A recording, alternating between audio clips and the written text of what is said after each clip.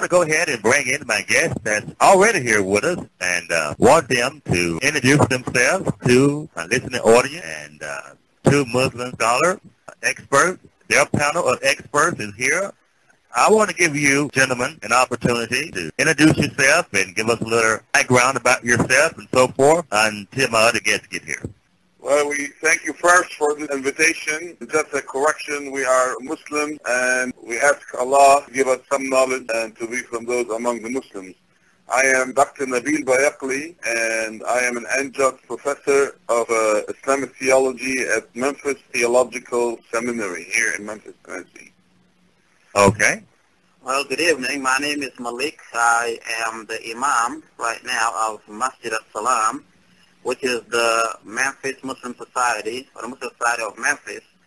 And I'm here today. Uh, we welcome this opportunity of coming to your show, and hopefully this will be a very fruitful panel and discussion. Then we may all learn from one another. Thank you for inviting us. You are more than welcome. Uh, glad to have you all. I want to thank you first uh, for accepting the invitation. I, I know it was a short notice, but uh, I do want to thank you all for honoring the request. And I thought it would be just more than fair to allow a representative uh, from the Islamic faith religion to come and engage in this particular debate. Uh, I think we're going to have a great time tonight. Uh, there is sound. Uh, uh, those who in the audience are listening now, if you have any problem with the sound, we want to go ahead and get all the technical problems out of the way. And uh, I'm going to bring in also my other great Christian scholar. Are you there? I am here. How are you doing, sir? Great. Great to have you on uh, here in the debate. Uh, I do have the other gentlemen here, and uh, there again, they just introduced themselves uh, here from Memphis Theological Seminary uh, School.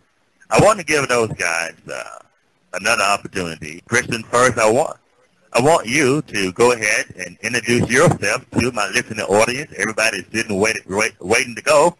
But if you can uh, give us a little background about yourself, uh, Christian Prince, and uh, we'll allow them to okay. give their... Okay, no problem. Well, you know, uh, I don't like to talk about me too much because I like to go straight to the topic. But uh, anyway, I am an Arab Christian who believe in the Lord Jesus Christ as my Lord and my Savior. And I have degrees in the religion. It's called Islam. So I hope your guest, the one you have in your show, uh, they are people who they can help us to understand what Islam is about. And as you told me, the topic today is, is the Quran is the book of God. So I would like to hear from your guest whatever they want to say to us as a proof or what is making the Quran is the book of God. As an example, what the reason for Quran to come. Is it true that the Muslims, they say to us, always, we, you know, they say to us, that the Quran came because the Bible is corrupted? So I will start with this question with your guest, and I say hello to them. Salam alaikum. And I, and I would like to hear the answer. Thank you. Okay, good. Uh, let me let me jump in real quick. I want to make sure do anybody hear any echo in the background? No. No echo. Okay, good. Want to make sure that there are no echoes in the background and uh, I think we're ready to go. Those who are just tuning in to the Black Conservative Show, here on Blog Talk Radio, we bring you the best possible source. This is your one-stop for truth. We deal with the actual facts, the hard facts, not stubborn facts. This show was designed and created to inform and educate our caller, callers and listeners on the facts. So what is the truth? Truth is not based on an emotion it is not based on opinion, a feeling. But truth is based on the facts. And for those who believe in the inspired Word of God, truth is based on the Word of God. So we have put together this debate tonight. Uh, I have uh, on both sides uh, the spectrum, uh, Muslims uh, from the Islamic faith and a representative of Christianity. And we're going to go and get ready to engage in the debate. Uh, each individual would have uh, 90 seconds to give a rebuttal if you have an objection uh, to what your opponent is saying. you have uh, you would have uh, 90 seconds. to give a response back. Also, uh, at the start of the debate, you will be allowed five minutes to give an open presentation on both sides. And after that five minutes presentation, then we would go into the rebuttal where you would have 90 seconds to rebut back and forth. And if they go like that for the next hour and a half. Uh, the rules are, and I don't think I have to enlighten any of you all on the rules, uh, is to stick with the issue, stick with the facts, no ad hominem, ad hominem attacks, no personal attacks, but stick with the person's uh, argument at hand and address that person's argument. And uh, I think we'll all uh, be happy campers with that. And we're going to uh, deal with that here on the Black Conservative Show. Going to take a little short break, a little short break, and then we're going to come back and we're going to start uh, this discussion. Is the Quran the Word of God? Here on the Black Conservative Show. Hold tight, callers. We'll be right back. All right, we're back here on the Black Conservative Show, getting ready to start the debate. Uh, gentlemen, you can give a five-minute uh, presentation, and then uh, Christian Prince is going to come behind them. And after the five-minute presentation of the opening argument, then we'll go into a 90-minute uh, respond and rebuttal to the objections one may have concerning the position of their opponent. Again, those who have just tuned into the Black Conservative Show, uh, want to welcome you to the debate tonight between Muslims uh, and Christians here on the on Blog Talk Radio. All right, my guest is going to the listeners is going to go first, and uh, guys, we're going to hear what you have to say. You have five minutes. Go ahead. All right, thank you once again, and we say wa alaikum salam to also the other guests on the other end. And uh, like I said earlier, we welcome this opportunity to be able to speak to you. And what we're going to say is more to the audience uh, because we know our guest probably is as knowledgeable as um, probably we are about the Quran to really know that it is the true word of God. Through history, because many things, if you want to understand how things are, you usually have to go to history. When you go back to history, it helps you better understand the present time or whatever is occurring right in front of you. Uh, God, we call him Allah as he called himself Allah, and uh, other people from other religious um, affiliation would also call him another name. Therefore, he is the one who is the creator, and we know that, and everybody agree to that. As there are only three things that a person may question, and many of the philosophers question those three and ask about the origin of man and also what man is doing here on earth and where man is going after death. We know for sure that if one exists, that means he is either the result of creation or of evolution. But still, mankind, everybody believes that they are the fruit of creation. And when we talk about creation, there is always a creator and also creature, meaning the creator must be the supreme being, the one who caused anything else to exist besides him.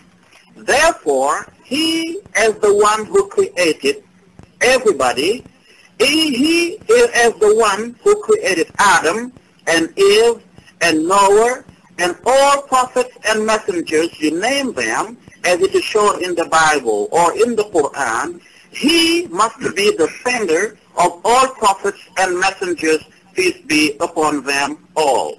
Now, why did God send prophets like Noah, or send Abraham, or send Moses, or send Jesus, or any other prophet in between them or after them? That means God had a message to take to people, and since he is a perfect being, and not equal to what he has created. Therefore, he has to bring a person who is like us, as he said in the Quran, if we were angels, then he would of course send an angel.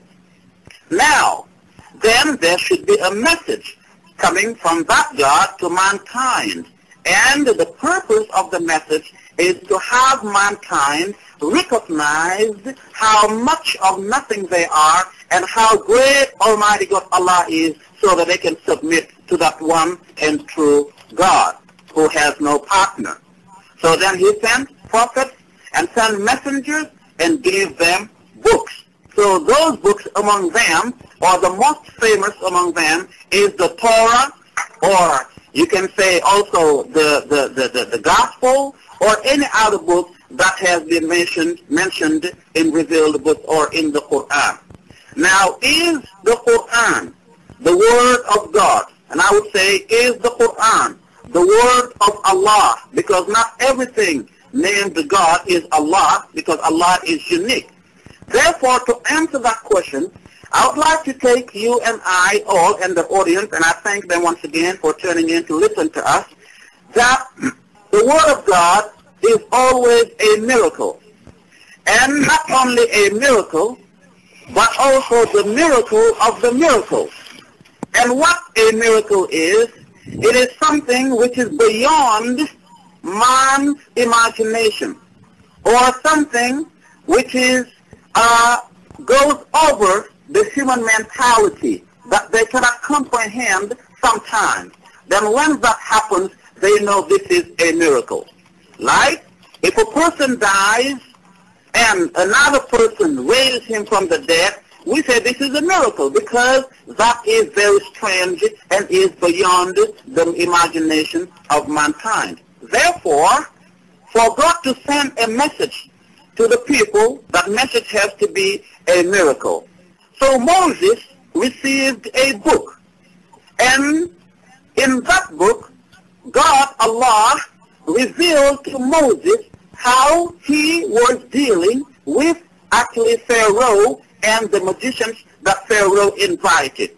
So Moses, as he was holding onto his stick, actually performed with the permission of God a miracle which of course would prove to his people that this is not from man, this must come from a being more perfect than us. And Jesus was sent to the people of Israel. And Jesus came, and it was a time when sicknesses or illnesses were very serious, and science uh, were not developed in a way to heal people. So he came as a healer. Then he could raise a person from the dead and make a blind to see and make a limping man to walk. So this miracle showed that what he had was not from God. Now when it comes to Prophet Muhammad and all the prophets peace be upon them, yes, he was in a time when actually Arab people or the world was moving to another step, to another stage, which was about literature or poetry or anything related to man uh, intellectual uh, uh, uh, uh. Now the intellectuality of man at the time was taking them to sometimes speaking a language that people, or even the Arabs, and I know our friend on the other hand, uh, on the other end of the line, will understand what I'm saying, that even uh, Arabs who were pure Arabs sometimes could not really understand some of the verses or the words of the Quran. And it was revealed to one who has never been to school, didn't know how to read or write. How could we speak such a language which was actually going beyond the people's understanding or imagination that he had to actually break it down in order to reach the subconsciousness of the people at that very time. Okay, now, that's be time. Okay, that's five minutes there. Uh, thank you very much. Five minutes there.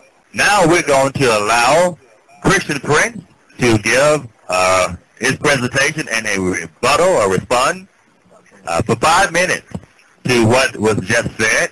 And once Christian Prince is done, then we will narrow it down the back and forward cross-examination to 90 minutes. Whoa, not, not 90 minutes, but 90 seconds. And uh, after that, we'll be able to, we're going to take some questions and call too, brother, after the last 30 minutes of the show or 20 minutes of the show. Christian Prince, you are on, you have five minutes to uh, make your case. Okay, thank you very much. I want to say thank you for uh, the, I don't know his name, by the way. If you can tell me his name, I would be uh, glad to know I'm talking to who. His name is Imam Maleck. Jamal Malik. How are you doing, Jamal? Uh, How are you know, you? First, I'm fine, thank you. You know, first of all, proving a religion is not about giving a speech about uh, we don't believe in evolution. And I'm, I'm not an atheist. I'm a Christian. So we believe in God, and we believe that this universe created by God. So there is no need to go and talk about those who speak that, oh, you know what, things happen by accident. Let us go to the topic. You said that the miracles of Muhammad is the Quran. Now the Quran says, if this book is not from God, you will find in it a lot of contradiction.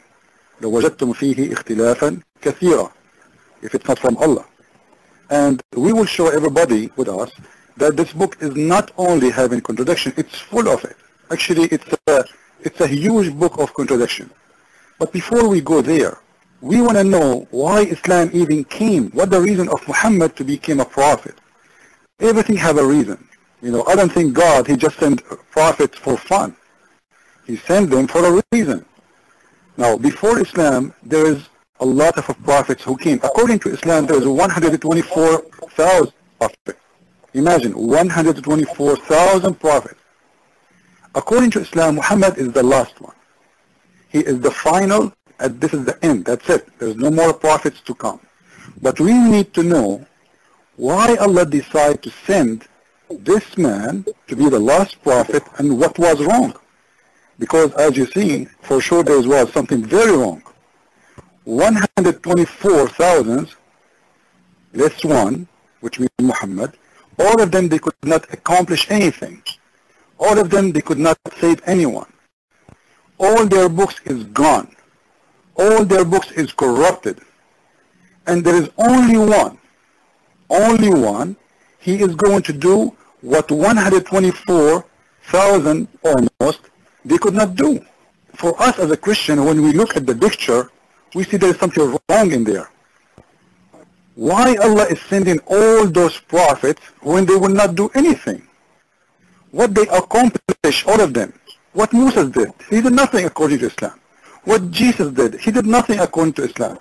So why Allah is sending them? And before we go there, I would like to ask you, when you start responding to me, to answer a very specific question. The question is, is it true what the Muslims, they say to us, that Allah, the God of Islam, he sent Muhammad, the prophet of Islam, because the Bible of the Christian was corrupted? Is that because of the corruption of that book? Or Allah, he was going to send him anyway, if the Bible is corrupted or not? I want a clear answer. I give the rest of my time to our guest uh, Jamal, and let us see what he will say as an answer. Thank you. Okay, thank you. You can now give your 90 second rebuttal to what he just said there. Go ahead. All right. Um, thank you very much once again for that question. I think we are not here to discuss whether the Bible was corrupted or not.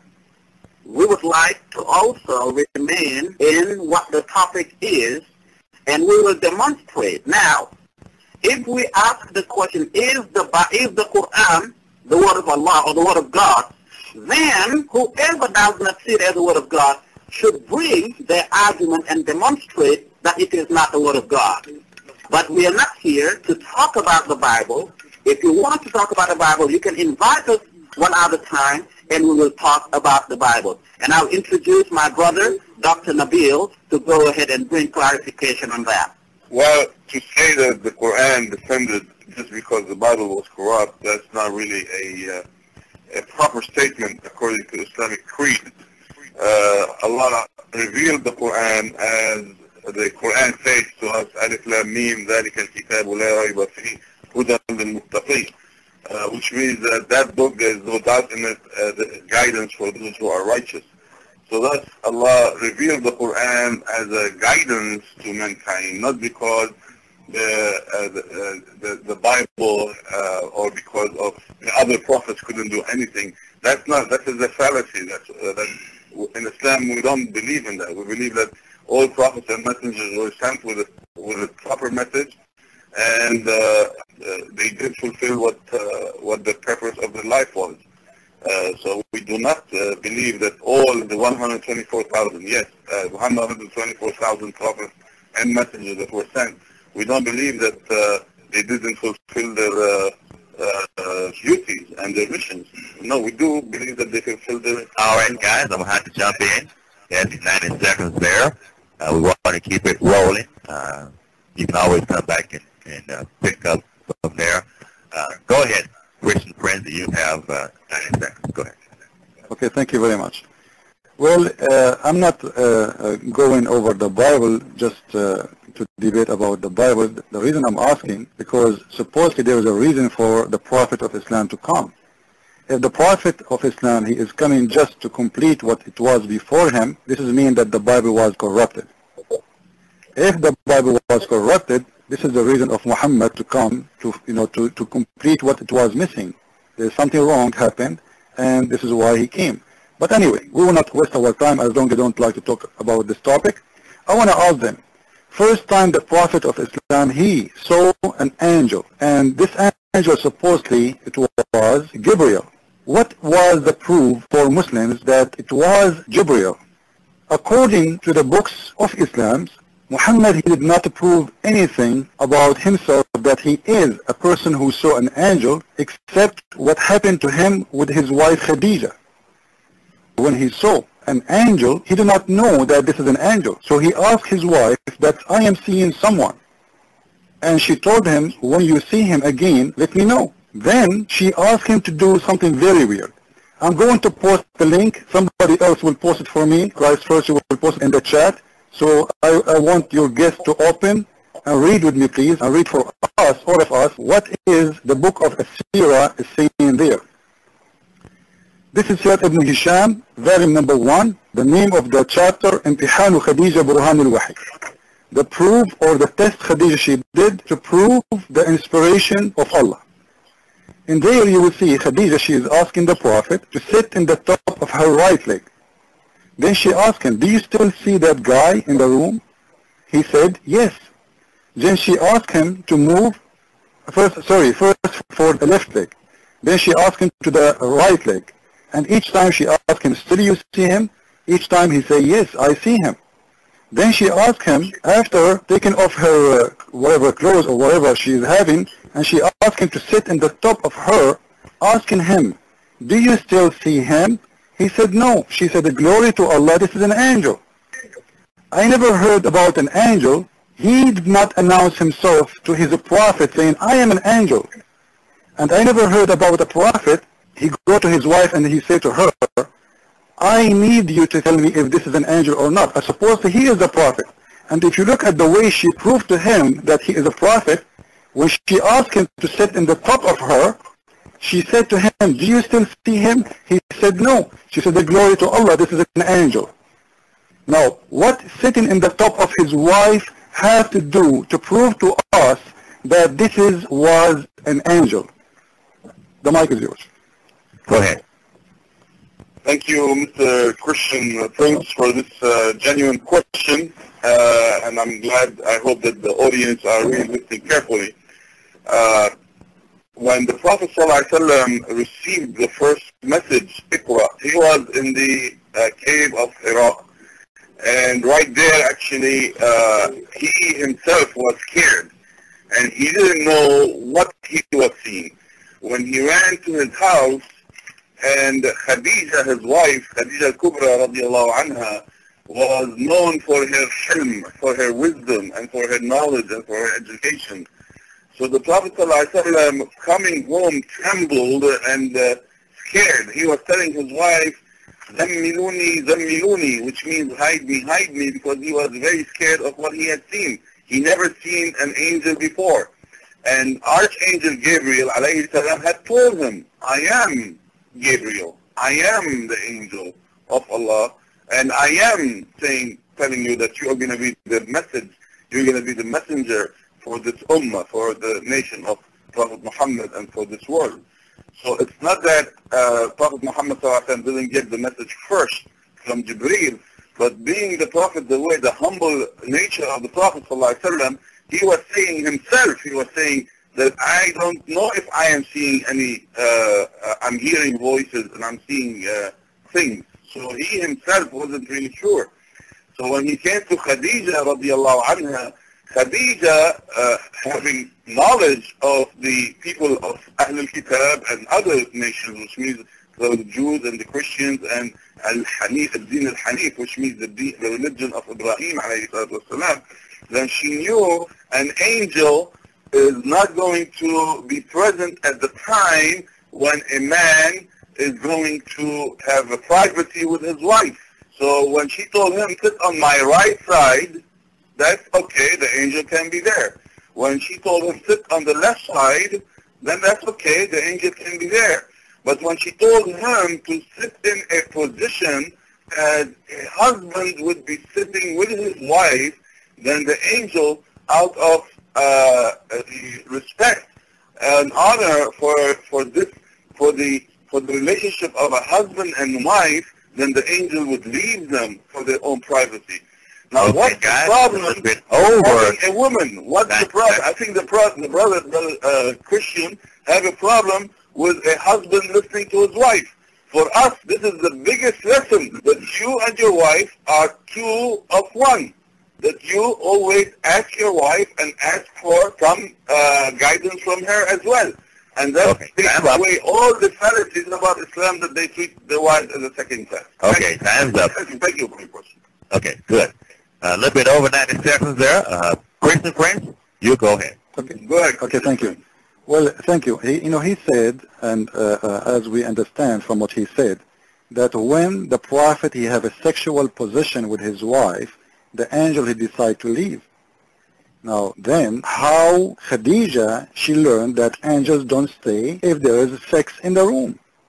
Like, you know, me, myself, I am an adult man. I never heard that angels will leave me. So what if I am having sex with my wife? You know, she, he's an angel. He will not get uh, excited. He will not get, uh, forgive me for the word, horny. He is an angel, you know. And according to Islam, angels always is found in you. Wherever you go, there's two angels, one in the left and one in the right. So even when you have sex, they are with you. Even Muhammad, he said, before you have intercourse with your wife, you have to say the word bis, Bismillah, and you know, seek refugee of Allah. So Allah will protect you. How will He protect you? Because the angels will keep the Satan away from you. So angels even with you, according to your prophet, even when you have sex. So there is no reason for the angel to get out. This is number one. Number two, you said that the angel told him, I am Jibril. I want you to show me that. This is Sahih al-Bukhari. I will post it. I want you to open the link, please. Hadith number 4626, Kitab al-Tafsir. There is nowhere when Muhammad he saw the angel first time that the angel he said to him, you know what, I am Jibril. Actually Jibril he did not mention his name at all. He started right away, he came to Muhammad, he said to him, read. And you will see something there too, very weird in this story. He starts squeezing him. Now, if I asked you what the squeezing had to do with an angel speaking to his prophet, I do not know what you will say to me. But still, I want you to read again, please, the hadith I posted, because I cannot uh, go and log on in the chat. Somebody else is posting the hadith for me. So I want you, please, to open the link and read for me. And you will see that Muhammad, until that time, he never heard of, of the name Jibreel. He had no idea. And the one who told him about who is the name of the angel, it was Waraq ibn Nawfal. Waraq ibn Nawfal, he is the one who said, oh, this is Jibreel. So what you said to me with my respect to you is absolutely not true. Secondly, what we see in here, that the family of his wife, they are the one who is deciding that, okay, you know what, you are a prophet, and this is an angel. And even they gave him the name. Now, how Waraq ibn Nawfal he knew he is a prophet? He was inspired? How many prophets in Islam? It's supposedly it's only one, and the one is Muhammad. So what do you like to say to me, sir? Mike is yours.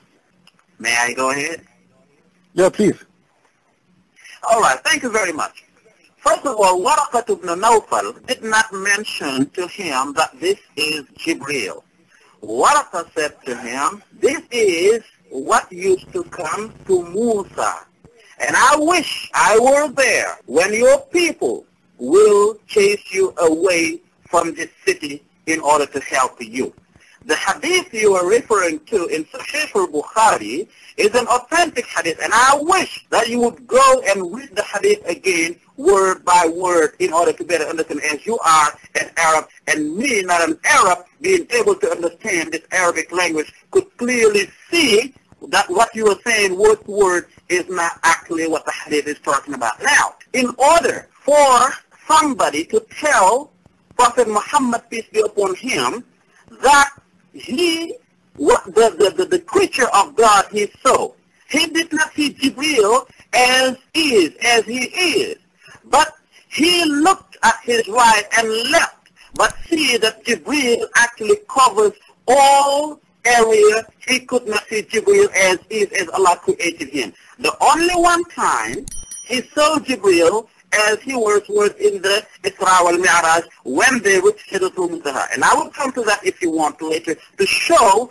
the authenticity of the Word of God as a miracle that people can clearly understand. Now back to your question. You are using Sahih al-Bukhari. So if you think that the revelation that Prophet Muhammad, peace be upon him, brought is not true, so how you as an Arab who understands Arabic want to use that same revelation in order to contradict this revelation if contradiction is there, as you can see. But no way. But you are using this because you know for sure that this is a good reference that you can turn to in order to justify whatever misunderstanding or misinterpretation or miscomprehension you may have on the verses of the Quran. Now back to our topic because we do not want to step away from our topic dealing with hadith while we have the verses of God in the Quran that is the verifier of the truth in the Bible, in our book. I'm glad that this is not our topic today. We would like to debate this one more time with you. But I want you, with all due respect, to show me in the Quran, as you said earlier, that it is a book of ikhtilaf. It is a book of full of contradiction. Show me, pick up the Quran. I understand and I know you must have one right in front of you. Open the Quran and show me where in the Quran has Allah revealed verses contradicting one to another. And I may today and hope but from this session, from this time, you will understand the language of Arabic better today. Okay, time is up. Now, let me say this here uh, to uh, the Muslim representatives. I don't think the Hadith is, is off limit here. And the reason why I say the Hadith is not off limit because uh, it is uh, second in authority to the Quran. There are Muslims who quote the Hadith. Of course, they quote parts of the Hadith that they think is in agreement with the Quran. Uh, so I don't think quoting Hadith is off limits here. If I may bring clarification to you, I think we all understand the English language because the topic is, is the Quran the Word of God? If you said, is the Quran and Hadith a revelation from God? Yes, then we can open that window in order to look through it. But you mentioned the Quran, and the Quran is a book start from chapter 1 to chapter 114. This is why I brought okay. that Okay, Mr. Jamal, I think it's my time now. I think it's my time. Yeah. Thank you. Go Thank ahead, you, Jamal. I don't think Jamal, first, the Hadith first, here. Yeah. Go First, ahead. I want you to open Jamal. Jamal, I want you first to open the hadith I post for you in the chat, and you will see there it says the name Jibril. He said to him, this is the same as the angel who came to Moses, and it's between two brackets the name Jibril. But I understand you don't want to go there. The reason I mention this, because Muslims, when they say to us the Prophet of Islam is a prophet, as you see, it's not even him. He do not know he is a prophet yet. It is people who they are saying to him he is a prophet. And not only that, you will see that the Prophet of Islam himself, he imagined things. You know, there's a hadith even, there's many hadith. They are saying that the Prophet used to imagine himself doing things, including having sexual intercourse with his wife when he never did. A hadith in al-Bukhari saying it clearly. The Prophet used to imagine himself doing things he never, ever did. Now, how I can trust a man? He always imagined things happen to him, but he never did it. I will post the hadith too for this one from Sahih al-Bukhari and you will see in your eyes that the prophet he was not knowing what he is doing. And when the a man he reached the point he say things or he do things he himself do not know what he is doing, it means there is something wrong about him. You know, right now if I go and I want to join any job and I say to them, oh, I imagine it was happening. And people, they will say, with my respect to you, I'm not trying to insult, they will say, you know what, you are crazy. Now, how I can trust the Prophet of Islam words that he saw someone because he is the only one seeing that one. It is was his wife and her cousin, Waraqa, saying, oh, his name is Jibreel, and you know what, you are a prophet. But anyway, as long you are the one who mentioned to us, you, you want to go to the contradiction, and you mentioned in the first, in the, in the opening, the name of the Pharaoh. I want you to open with me chapter Yunus, verse number 90, and you will see in there it says that the Pharaoh became a Muslim. He believed in Allah. If you go to chapter 17, uh, chapter Al-Isra 17, verse number 102, 103, you will see that the Pharaoh, he died and he was still an infidel. He is a kafir. And this is a contradiction. I think my time, I don't know if my time is still up, but I would like to hear about this one so we can continue in more contradiction. Thank you. Okay, thank you, uh, for this valuable uh, remark. The Quran never states that uh, Fir'aun, Allah, has ever became a Muslim.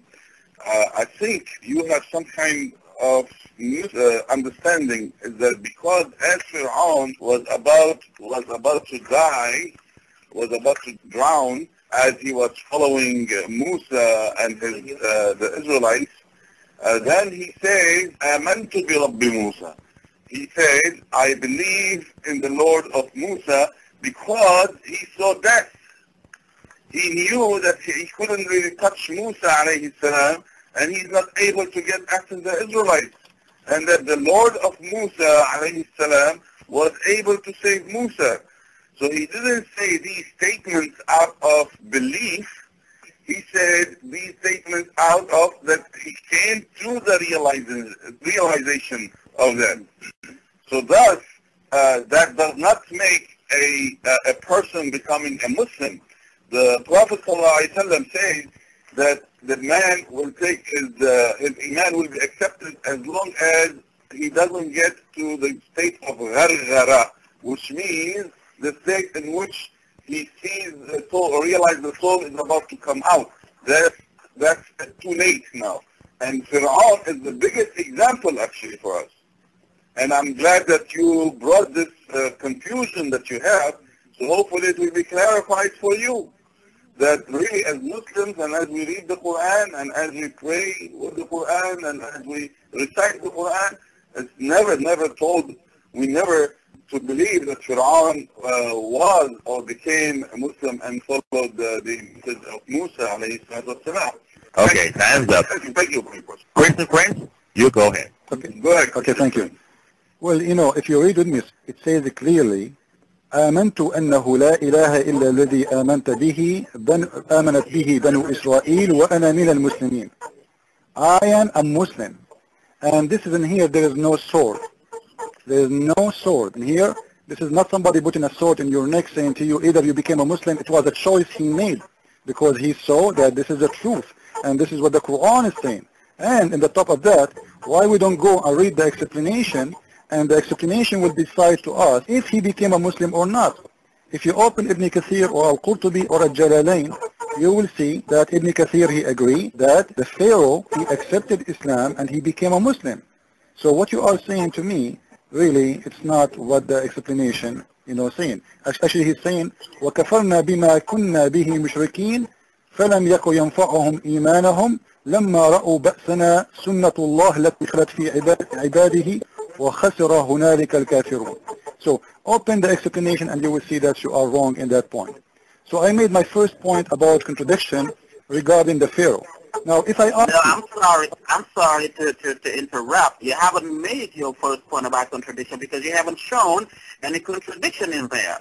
Because we're trying to correct you. You have a misunderstanding of even the Arabic language. I'm sorry, uh, even if you are an Arab, because uh, earlier when you mentioned the hadith in Bukhari saying that there is the word Jibril in there, you yourself mentioned Jibril in between brackets meaning that word Jibril is not from the hadith, but it is from the one who wrote the hadith to explain to you that that means Jibril, but the word Jibril did not come out of the mouth of Waraq ibn, uh, ibn Nawfal. That's why and the verses you just mentioned in Surah Yunus. And once again, when you mention for just the audience and for the respect we, have, we owe to the audience for them to go back and read for themselves, please mention to them the number of the ayah and the chapter because they will need to go back and see exactly the truth of what you say or maybe the misunderstanding that you have on these verses. And to proceed, if, if I may, because I interrupted you, or I will let you finish Okay, and then I'll me, come back. let me jump, let me jump in here, guys. Let me jump in here real quick. uh, we're losing a little momentum. 90 second response. Each side have 90 seconds to respond back. I'm giving you just a little more time than 90 seconds, maybe about 120 seconds. But there again, uh, that's limited to 90 seconds. We want to give a proper response back. Go ahead, uh, Chris. Chris, you you now have Okay. 90 seconds to give a response. Okay, thank you. First, he just agreed that the one who wrote the hadith, he put between two brackets the word Jibril. Now, are you going to say it's my fault to see the word Jibril and don't, do you want me not to read it? If it's not there, the Muslim should be honest in, in, in their words and not to add words does not exist. If the hadith doesn't say Jibril, why you add it? It doesn't make sense. This is not honest by adding words for something, put it in the mouth of somebody, and this is especially it's about the Prophet himself. You know, secondly, I posted the hadith, and actually I posted the website, and I posted the hadith number. I said, chapter Yunus, which is number 10, verse number 90. And this is a Jalalain. I will post for you a Jalalain. I will post for you Ibn Kathir. I hope they are posting it for you in the, in the, in the chat there. And you can open and you can see. It doesn't say that he did not become a Muslim. It's saying the opposite. It's saying he accepted Islam. He embraced Islam.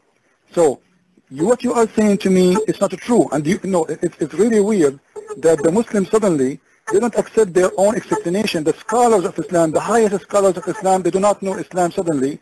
And you are the one right now is going to correct a Jalalain. So what do you think about what Jalalain is saying in front of your eyes? The mic is yours.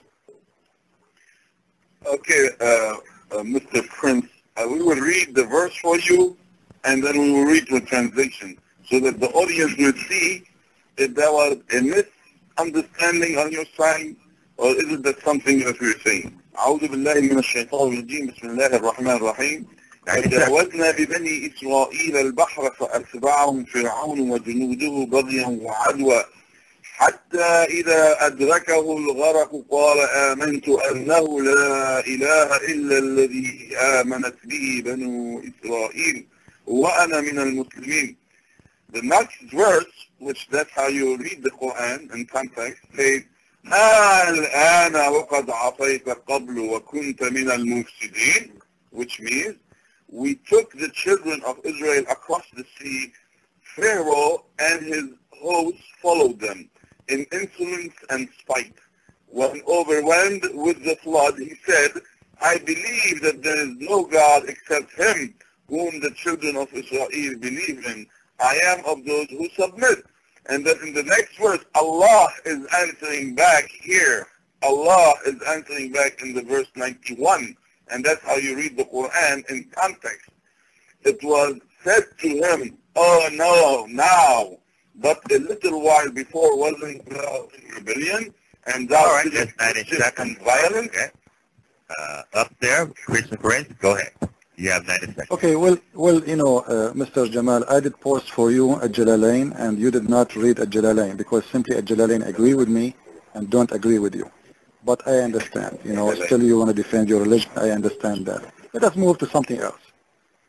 According to your prophet in the Quran, in uh, Surah Al-Tariq, he is saying, and I will post Ibn Kathir as an explanation. So nobody can say, you know what, you have a wrong explanation. This is Ibn Kathir. I hope they will post it for you in there. I want you to open with me, please. And you will see your prophet saying that the human being, he is created from a gushing fluid coming from the backbone and the ribs. According to the explanation, it was the backbone of the man and the ribs of the women. Now, if I want to ask you, please, what is coming from the backbone of the man and what is coming from the ribs of the women? And I want you, please, to open and read for me what your prophet himself saying and what is written in the explanation of Ibn Kathir. And as you see, I'm not explaining your Quran, and I have no right to explain the Quran.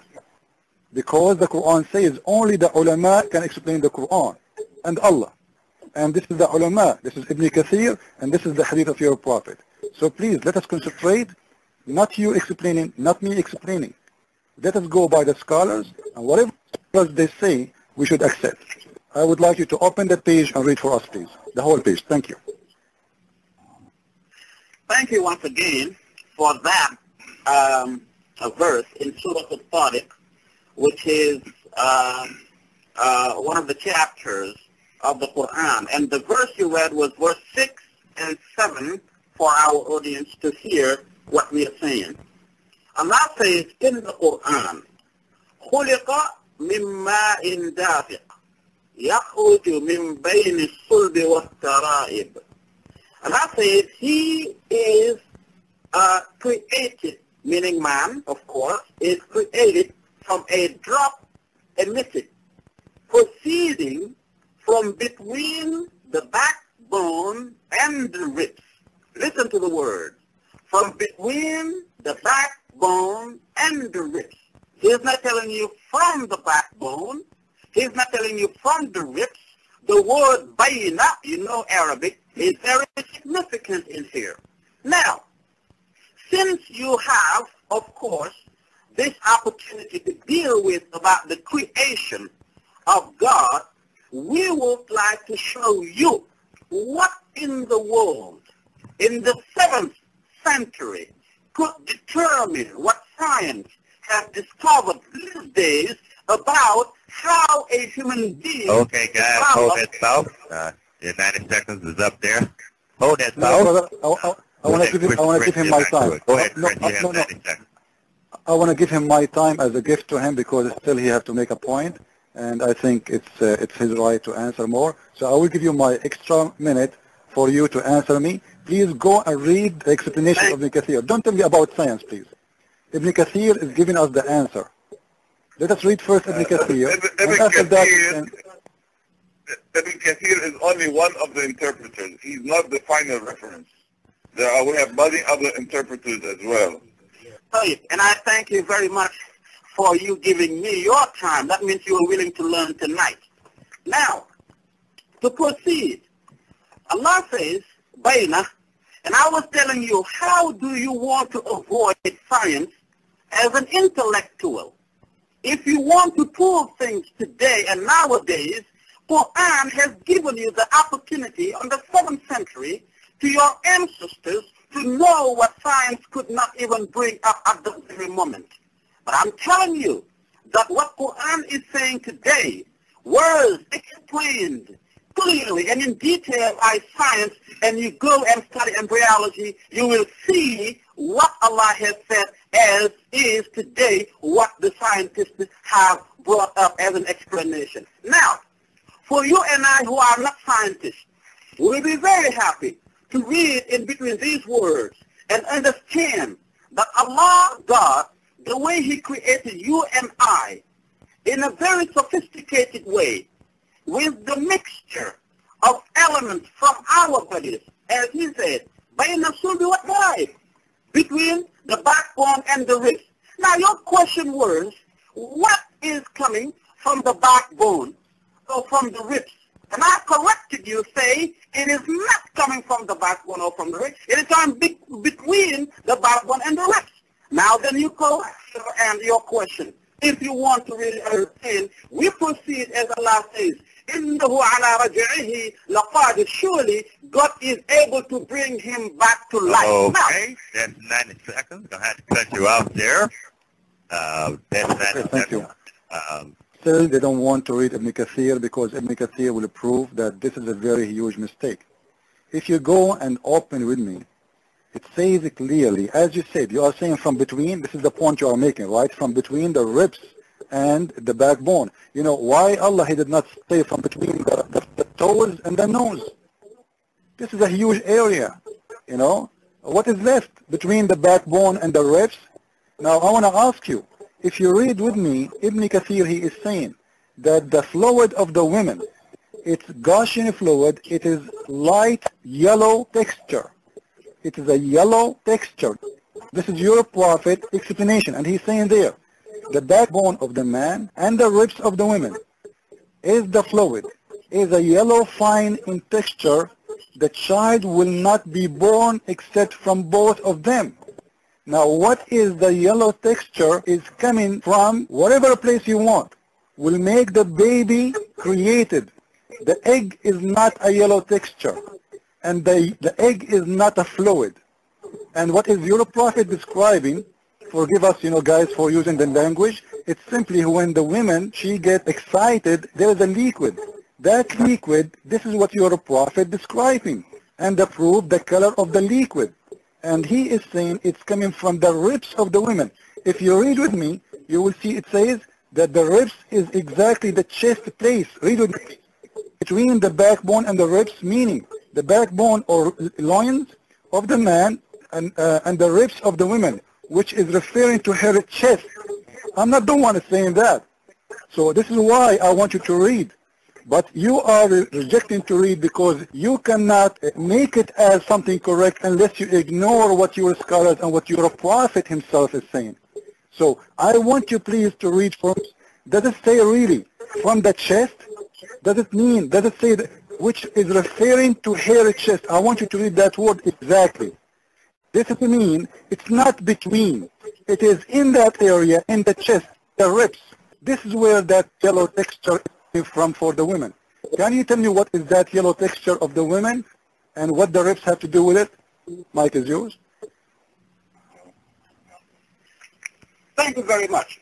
First of all, scientifically speaking, um, the verse, let me jump in here for a minute. Before you before you answer that question, just hold one moment. I I got uh, a little technical problem here. Okay, let me fix it. Okay. All right, go ahead. Okay, I was saying scientifically speaking, the first means that of course the sexual organs are located between the backbone and the rib. And this was revealed in the 7th century. And science just could not talk about it because they were at not that level because Prophet came with a message that was beyond the level of science or anything that came from man. Now, you read that hadith you were talking about that Ibn Kathir is referring to, and I will tell to you to be sincere enough to accept the truth when it is mentioned.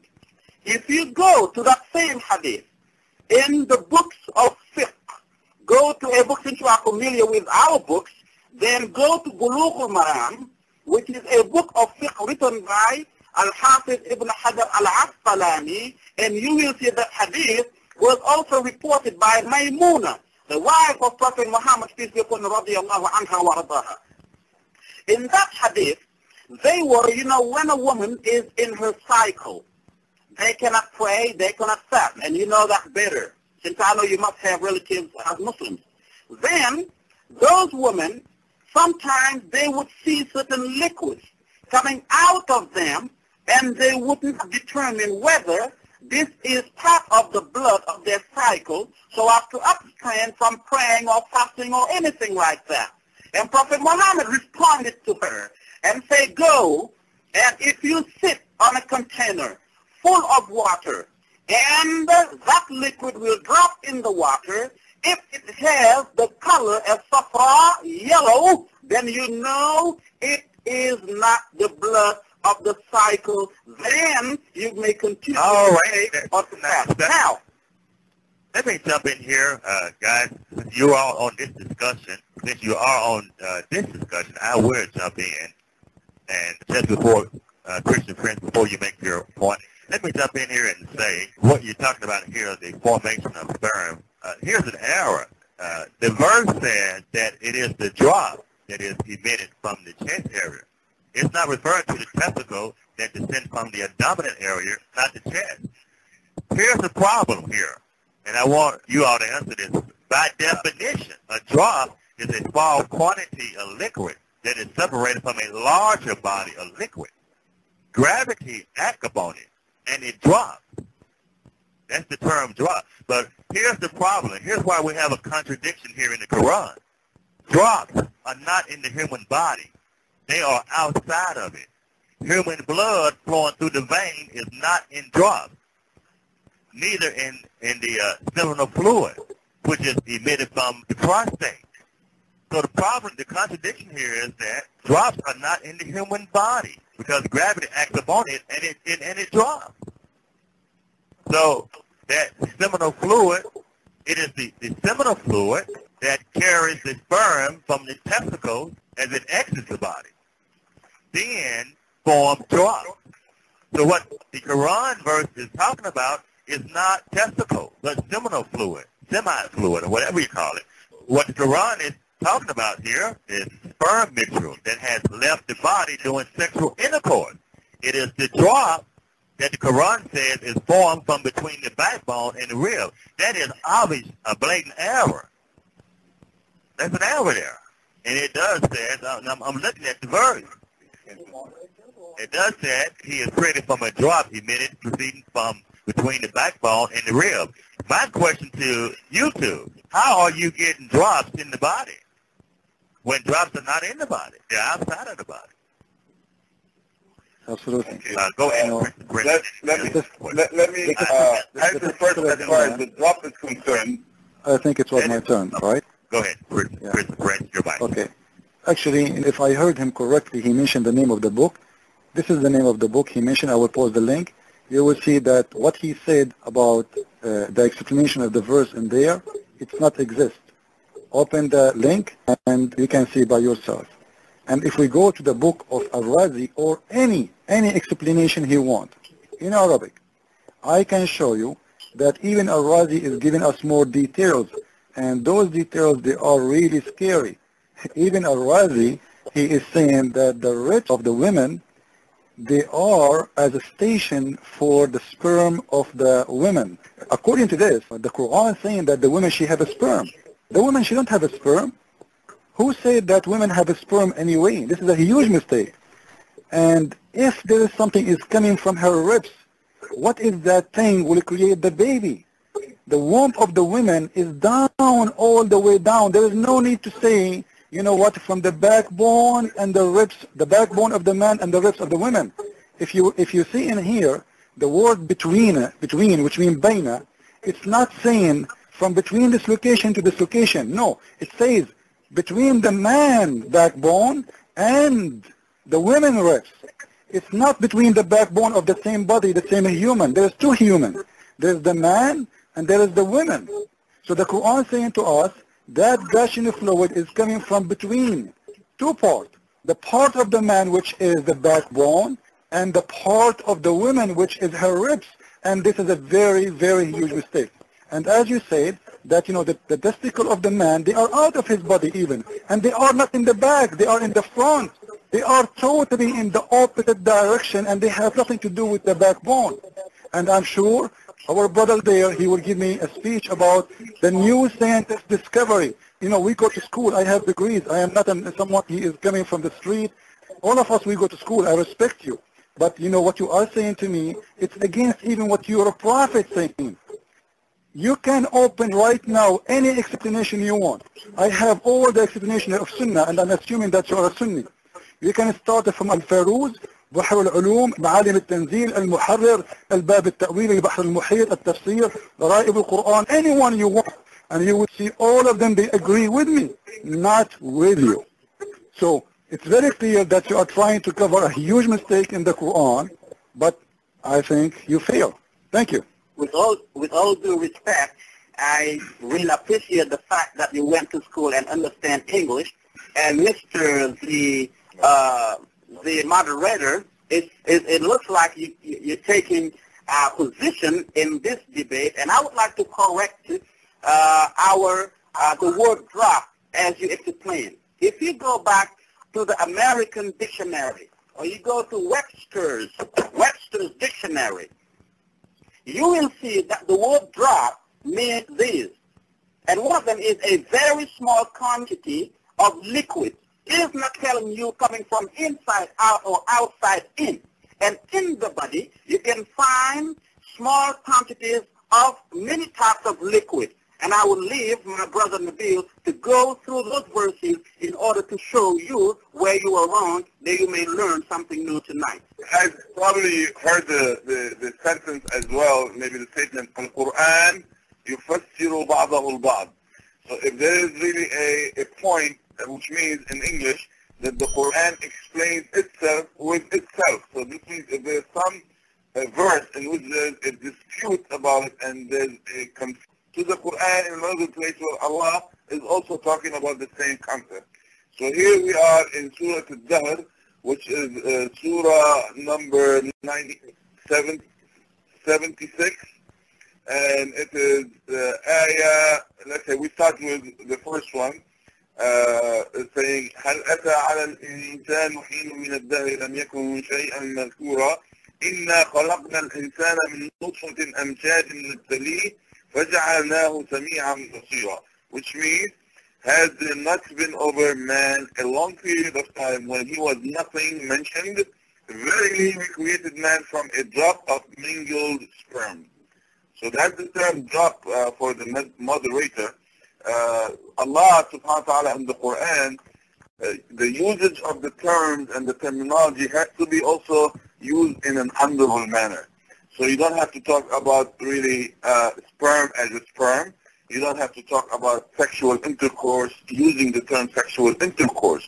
But there is a an inference to the concept and the inference so that you'll understand it. So this way the Quran and the context, whatever the Quran, that you, you will not find anything in it that somebody may accuse the, uh, that there's some foul language in the Quran. So whenever you have right? misunderstanding of a concept, let me finish this. Whenever you have a misunderstanding of a concept, then go to another area.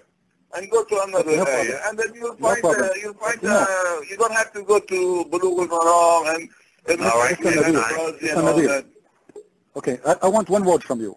Now, this verse is talking about a sperm or not sperm, because what you are saying to me doesn't make sense. The Quran saying this is a sperm. Ma'un dafiq, which is going to create the baby. Read with me please, Ibn Kathir. And you will see this is the hadith from your prophet. This is a liquid is going to create the baby. He's talking about creating the baby. And your God in the Quran always mentions that al-ma'u dafiq, this ma'u dafiq is the sperm. This is the sperm. Min nutfa, you know. And the women, she don't have a sperm.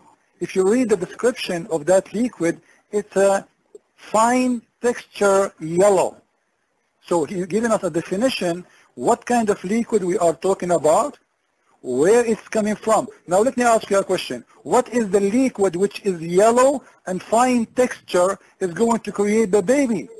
The egg of the women is not a liquid. There is only one egg. The women have only one egg, not a liquid. Liquid it means millions of drops. This is what the sperm is. Sp sperm is millions of drops. They walk together, they go inside the women when they have intercourse, and one of them is going to activate the egg. One of those drop of the sperm, millions of them will go inside, but one of them only will activate the egg, and there is only one egg for the women. There's no liquid of eggs, only one egg. And your God in the Quran insists, saying, we created you from a drop, which is a sperm.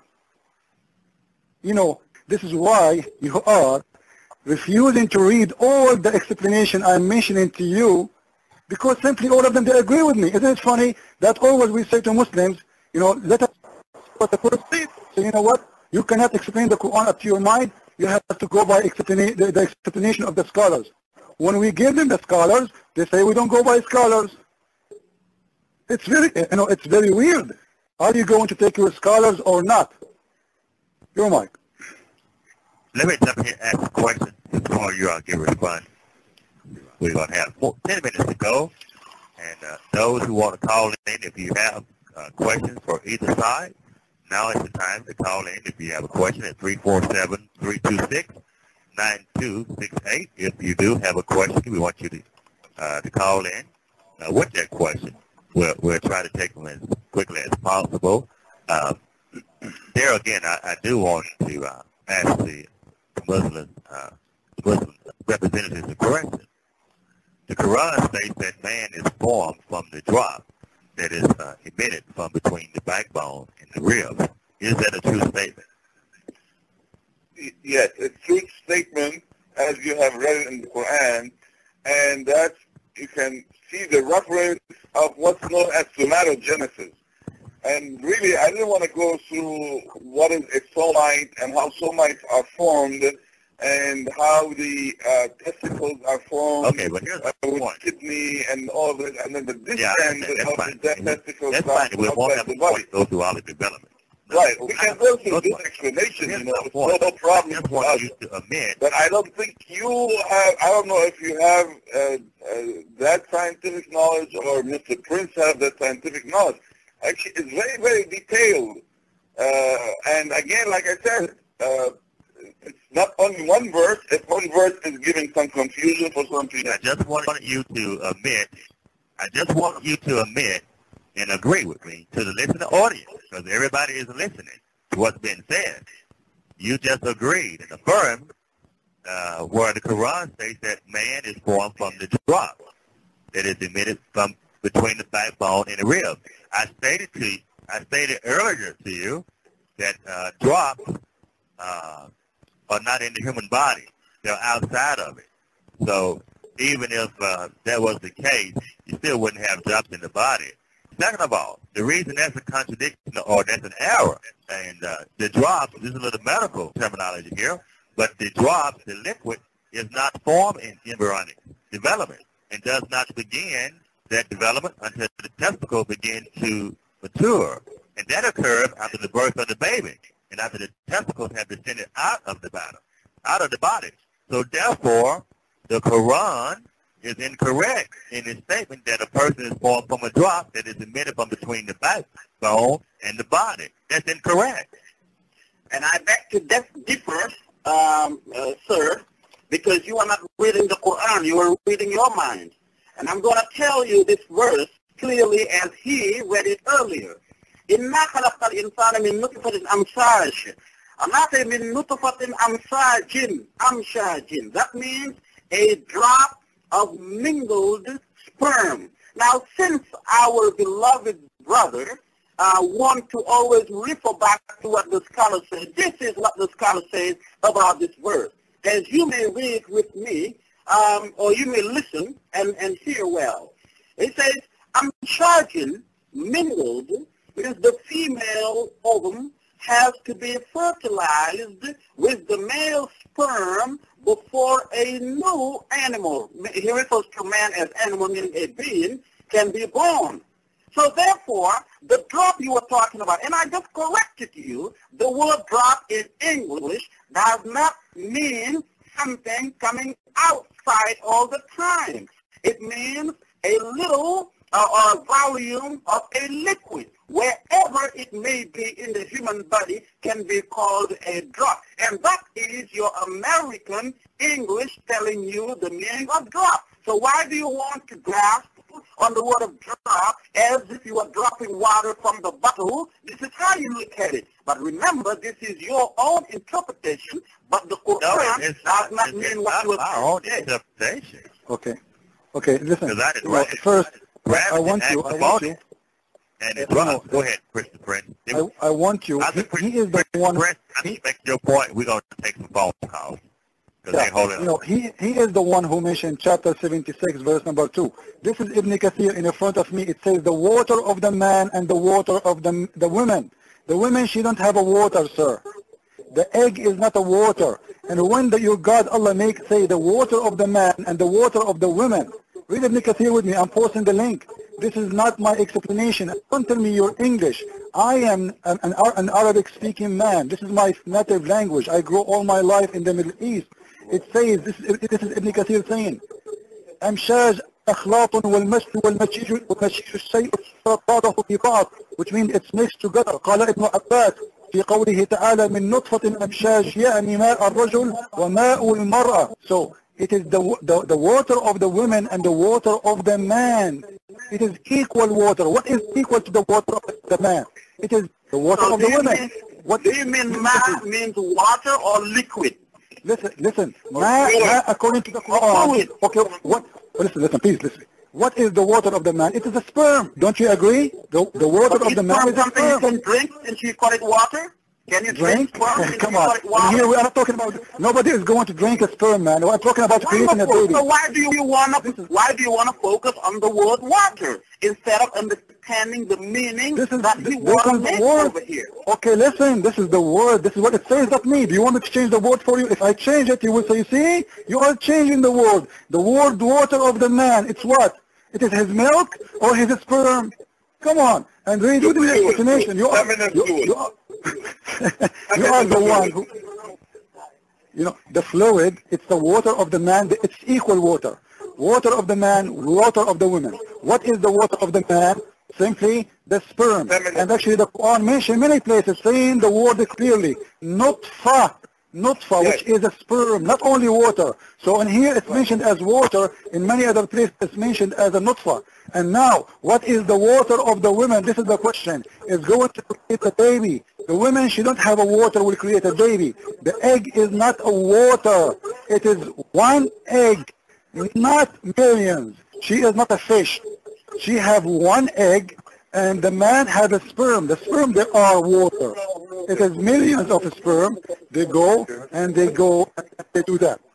Look, for how long I'm asking him to, to read Ibn Kathir. He reject. He don't want to read because Ibn Kathir is saying even that it's coming from the chest. You know, they don't want to read their scholars. Is it funny that he is going to mention to us the American science, but he don't want to read his own scholars' explanation.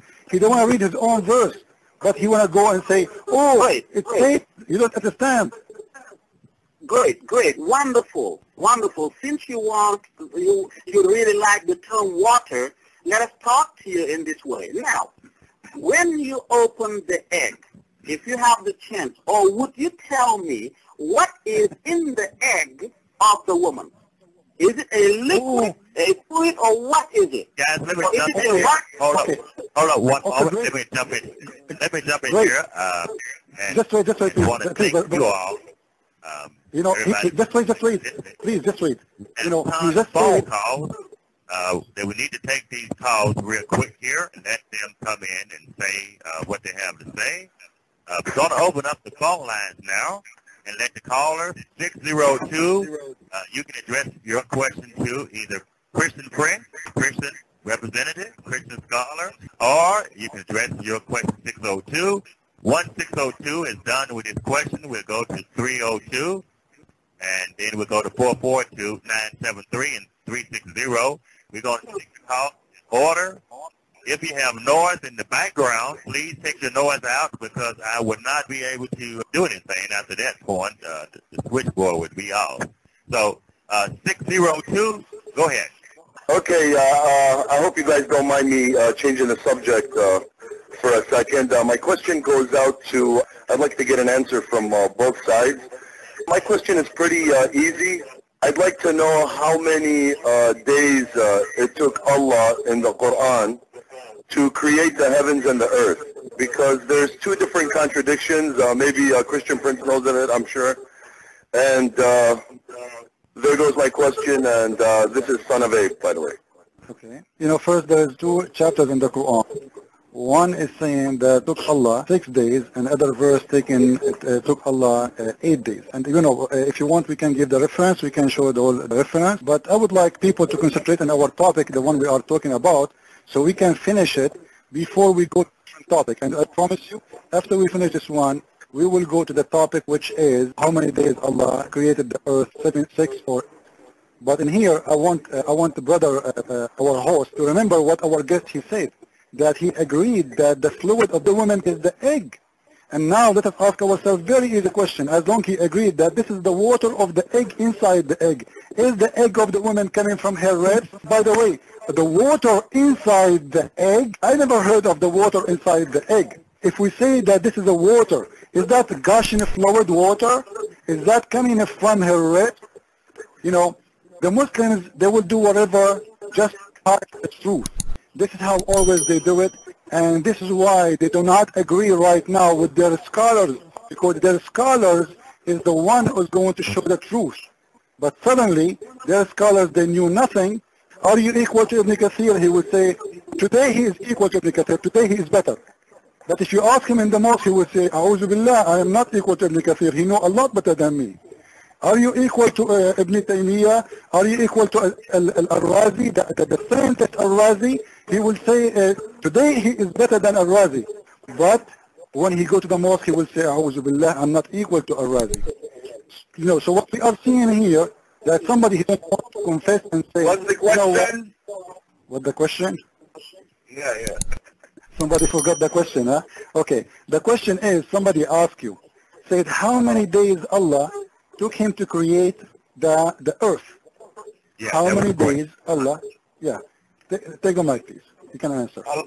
Allah subhanahu wa ta'ala, when he says talks about days, it talks about days in a different concept than you and I would understand. Allah subhanahu wa ta'ala talks about the day of judgment. Is that one day as in 24 hours? Is this one day as in on the Vulcan uh, calendar? Is this one day on the lunar calendar? It's whatever Allah's day has decreed for it to be. So whether Allah says six days, or whether Allah says eight days, whether Allah says four days, whether Allah says two days, the knowledge of these days is only with Allah subhanahu wa ta'ala. It's not with me, and it's not with you, and it's not with any uh, person who's uh, following the solar system, because Allah subhanahu wa ta'ala does not, is not bounded by the solar system. So if it's mentioned in one place six days, and mentioned in another place uh, eight days, we still don't know that these days are 50,000 years, or one day is 1,000 years. We don't know. This is, uh, as Muslims, and everybody will say, Ibn Kathir will tell you this, Razi will tell you this, Ibn Taymiyyah will tell you this, that this knowledge, the knowledge of human being is only limited by the information that's present at that time. So when Allah subhanahu wa talk about days, it I does a not question. mean Let the here. same days that you and I understand them. Okay. But n- this, is- this is another question, actually. here. This is another question. Got a quick You know, just- just- just- for, for the A brother. second, please. A second.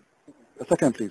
You know, what, what, you know, the question is, how many days Allah, He said He created the earth and the sky. We are not asking how long or those days. If Allah, He said six days in this chapter and He says eight days in that chapter, this is a contradiction. Because those are days for Allah. We are not asking Allah right now how long, how short they are. Either they are six, either they are eight. This is a very clear contradiction. And regarding how long is the day, you will see in the Quran, one verse saying uh, that you are, you are mentioning the last day, the judgment day. But the Quran says to us one day for Allah, the normal day How long it is? It says, يُدَبِّرُ الْأَمْرَ مِنَ السَّمَاءِ إِلَى الْأَرْضِ ثُمَّ يُعَرِّجُ إِلَيْهِ فِي يَوْمٍ كَانَ مِقْدَارُهُ أَلْفَ سَنَةٍ It is 1,000 year in our time equal to one day for Allah. This is the regular day. The day of the judgment, according to you, is the one is going to be 50,000 year. So we are not questioning now how long, how short it is. This is not the question. The question, one chapter saying six days, one chapter saying eight days, and this is a very clear contradiction because days for Allah is equal, is the same. Those, those are the days of Allah. Isn't it funny always when the Muslims we say to them something, it's very clear, it's contradiction, they say only Allah knows. So how you are a Muslim? You do not know anything. So why Allah is telling you even the days if nobody will know anyway? What the idea? Go ahead, sir. Well, we are Muslim by the grace of Allah. That's why we are Muslims. And uh, again, the answer is still in the pudding. And that is uh, that whenever Allah talks about days, just like you mentioned, that there are some days that are 1,000 years, there are some other days that are 50,000 years. And there's some other days that Allah subhanahu does not mention how, how, how long Let me ask you, let me ask you a question. And then there's here. the day of judgment. Let me say, there's the day of judgment where it talks about يَوْمَ تُبَدَّلِ السَّمَاءُ بِغَيْرِ السَّمَاء, which Okay. means that the whole order of this universe that we have is going to change. We cannot limit these days. We Let me cannot ask you a tell question. about these days. Alhamdulillah, Rabbil Alameen. we humbly say that. Okay. Let me ask you a question. Can you hear me? Yes, yes. mm. Okay. Let me ask you a question. Uh, since we're talking about days here, then I'm going to go to the next call. The Quran says the Bible uh, is not corrupt. Is not corrupt. Yeah, the Is that what Quran the Bible is not corrupt. Are you quoting the Quran or are you asking a question? Yeah. I'm, I'm saying to you, the Quran says the Bible is not corrupt. Tell me the verse. Tell me exactly where Allah says in the Quran that the Bible is not corrupt or corrupt. Tell me. Okay. Uh, the Quran says that the book of Moses, the Psalms, and the Gospels were all given by God in Surah 287. Also in 4163. And also in Surah 33 and 546. It says about the Torah in 287.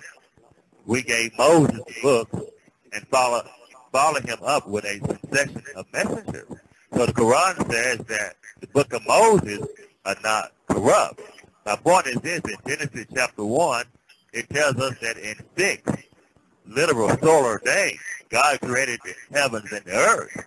Now, if you're saying that one day could mean 10,000 years or 5,000 years, then we have a clear contradiction. The Quran is contradicting what the Bible says. Because the Bible makes it very clear that the evening and the morning were the first day. It didn't say anything about 1,000 years, 10,000 years. If the Quran says that the book of Moses and the Psalms and the Gospel were all given by God, and the Quran says some contradiction to that about the creation account, then we have contradiction somewhere here. Either Um, either we go with the Genesis account of creation that gives a six solar day, literal days of creation, 24-hour day, ended by the session of evening and morning, or we go by what the Quran says. Actually, actually, Right. brother, just let me let me let me give you a uh, hadith. Excuse Just- me, just a excuse me, first, if, Just a I, second. if we may answer to what And then we're going to go to the next caller. We're going to have to take the next call, too. Uh, Yeah, just to help you, just just to help you in the answer. This is Al-Qurtubi. Saying it clearly. This is your scholar. One day for Allah is equal to 1,000. Six days equal to 6,000. I will post the link for them so they can open and read. This is Al-Qurtubi explanation, chapter 7, verse number 54. So if you're a scholar saying this, agreeing with us, I don't know why you are rejecting your scholars. It sounds like you are creating a new religion. Your scholars suddenly, they know nothing about Islam, but you know more than them. This is the link. I want everybody to open it and read it. So how come, as we see now, the scholars of Islam agree with us, but they don't agree with the Muslims? Like one of you have to be wrong. This is mean that you are a scholar, and all the scholars of Islam from today, they knew nothing. Thank you. uh, and once Let's take again, the next call. Let's take the next caller. Next caller had a question, too. We're going to go down the line and take the calls. The next caller, go ahead. Um, hello, it's my turn. Yes, go ahead. Okay, I just want to ask a quick question about Allah. What is Allah? Allah is like a human being, or is it not like a human being? Is he got spirit in it, or is it not spirit? You know, could you please explain on it? Can I repeat my question, or now we me clear- heard look the at your question. Is Allah a human being or not? Is that your, your question? No, no, he's saying he's a spirit or not a spirit. What he is, he's a spirit or not a spirit. This is the question. He is a spirit. He has a spirit. You spirit. can answer that. It's the same God, right? No, we don't have the same God. Your God is not our God, sir. Your God, according to the Quran, he have no spirit. He is not a spirit, and he has a leg. And actually, all what we see in the God of Islam, if we go to Surah Al-Qalam, we will see nothing except a leg. He have hands, he have eyes, but all of them, they are attached to his leg. And he is not a spirit, and he have no spirit. So, your God, Allah, cannot be our God because our God is a spirit, your God is not.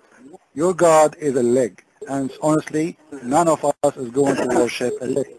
And if you want me to show you a clear explanation from your prophet that your God Allah in the judgment day show himself as a leg, I will be happy to show you that. Let me give you the hadith. But again, again, the answer to this is according to Prince, with all respect to him, with all his knowledge about Islam, he's saying that our Lord, our Allah, our Creator, the Creator of the heaven and the earth, the one who Jesus said, according to the biblical, Ilahi, Ilahi, lima my Lord, my Lord, that he had reduced him to a leg. Well, thank you, but we humbly disagree with you on this. And Allah, whether you like it or you don't, he, my Allah and your Allah, He's the one who created you. He's the one who created the whole earth and whatever is on it. And what is Allah? We don't know what is Allah. Is it He spirit? Does he, whatever he says about himself, whether he has an eye, he has an eye that fits his glory. Take. And uh, um, thank you very much for raising this. I think you have a leg, don't you? Well, uh, but according, do- according to Muslims, according to Muslims, Excuse, me- Okay. excuse me, and let me just finish. And if you Well, you believe asked me. you have a leg, I believe also the dog has a leg. So are you equal to a dog? No. But you still believe you are a human being. Now you have an eye. And of course, the snake has an eye. Are you a snake? You are not a snake. You are a human being. Therefore, the attributes of God as his attributes can never, ever be compared to any other attribute of that which he has created and brought into existence. And I will defeat anybody who can prove from the Quran that God is a leg. Get me the verse right now, and I'm going to read it Let to me, the let me audience as they may follow your word. Hold on. okay, let me let me Uh, prove that to him. Uh, please. let, Let me, me prove that to let him. me ask this question. Are you saying that God is not spirit? Okay, you as a human being, you have a see as a spirit. human being. Hold I- I hold on, know Mr. that. Moderator. I, I, no, you know, when you teach sometimes, it is very good to take example from the person right in front of you because that's what they I, may I understand what you're saying. Not cutting you off, but I understand what you're saying about human being. I'm not So asking questions not directed towards human being. My mm-hmm. question is, are you saying that God is not spirit? My question to you, as an answer to your question, is you as a human being, do you have spirit? What does that have to do with me being God? I'm Of not course, God. because you are a product uh, coming from the creation, from as a creature of God. Then we may understand God better. And if you answer to that question, I'll give you a direct answer to your question. My, my, my point is, if God is not spirit, when the Bible said God is spirit, if the Quran said God is not spirit, then what is God? God is a spirit and a physical being at the same time. And now, that's why, hold on, hold on, Mr. Moderator now. You have to listen when you ask a question. This is why I was referring back to you as a human being thinking, asking you, what are you? Be clear on this. Let me get, you stated that God is, is spirit and physicality, right? Uh, God has a physical being. But his physical being, his attributes are mentioned in the Quran. But he has nothing to do with what he has created as far as comparison is concerned. You can't compare him to what he has created. He is nothing like what he has created. All right, let me, Therefore, let me, let me ask you something here.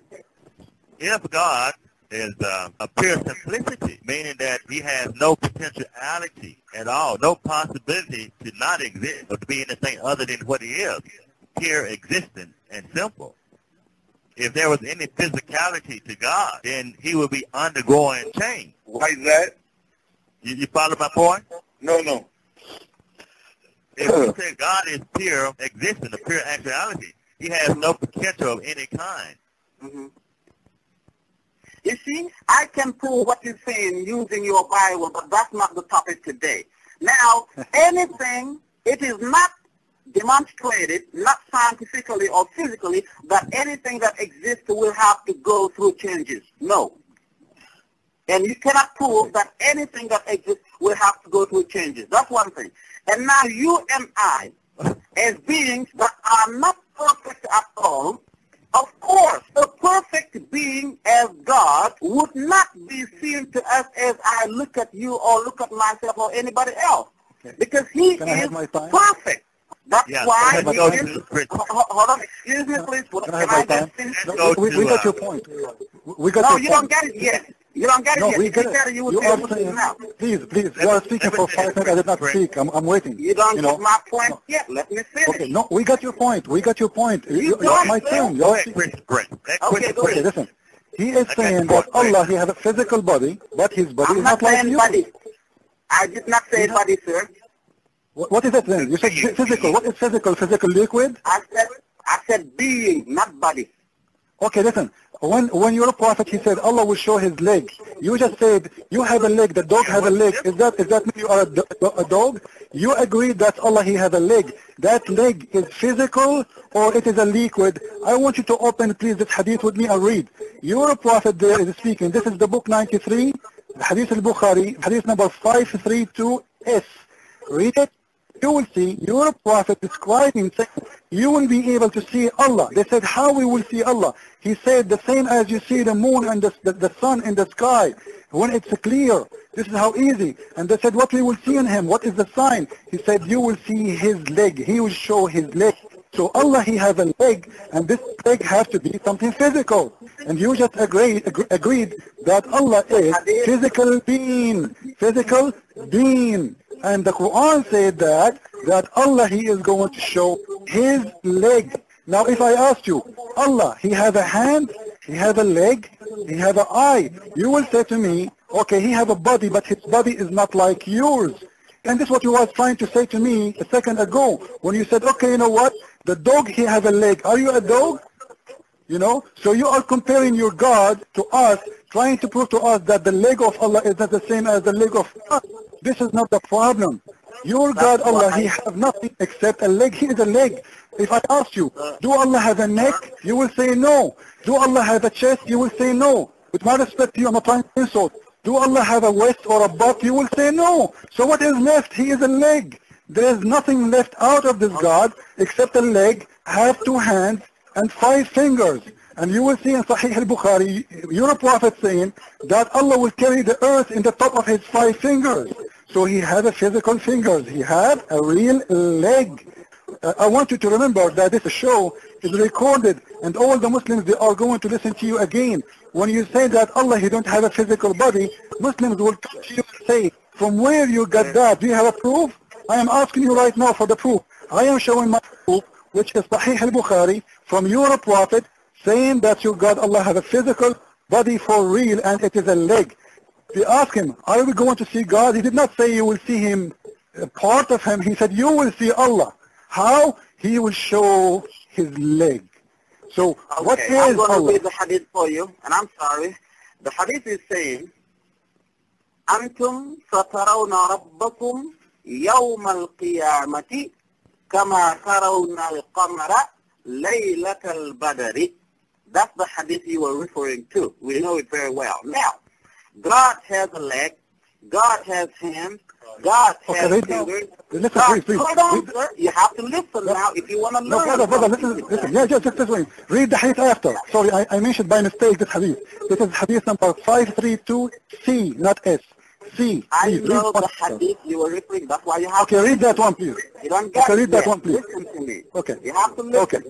We believe listen. that God, all these that He has mentioned in the Quran, or Prophet Muhammad peace be upon him, has mentioned in the authentic hadith, those attributes are true, and we believe in them as they are, as it is mentioned by Allah and His Messenger. Now, I asked you yourself earlier to show you that I'm not comparing God with you.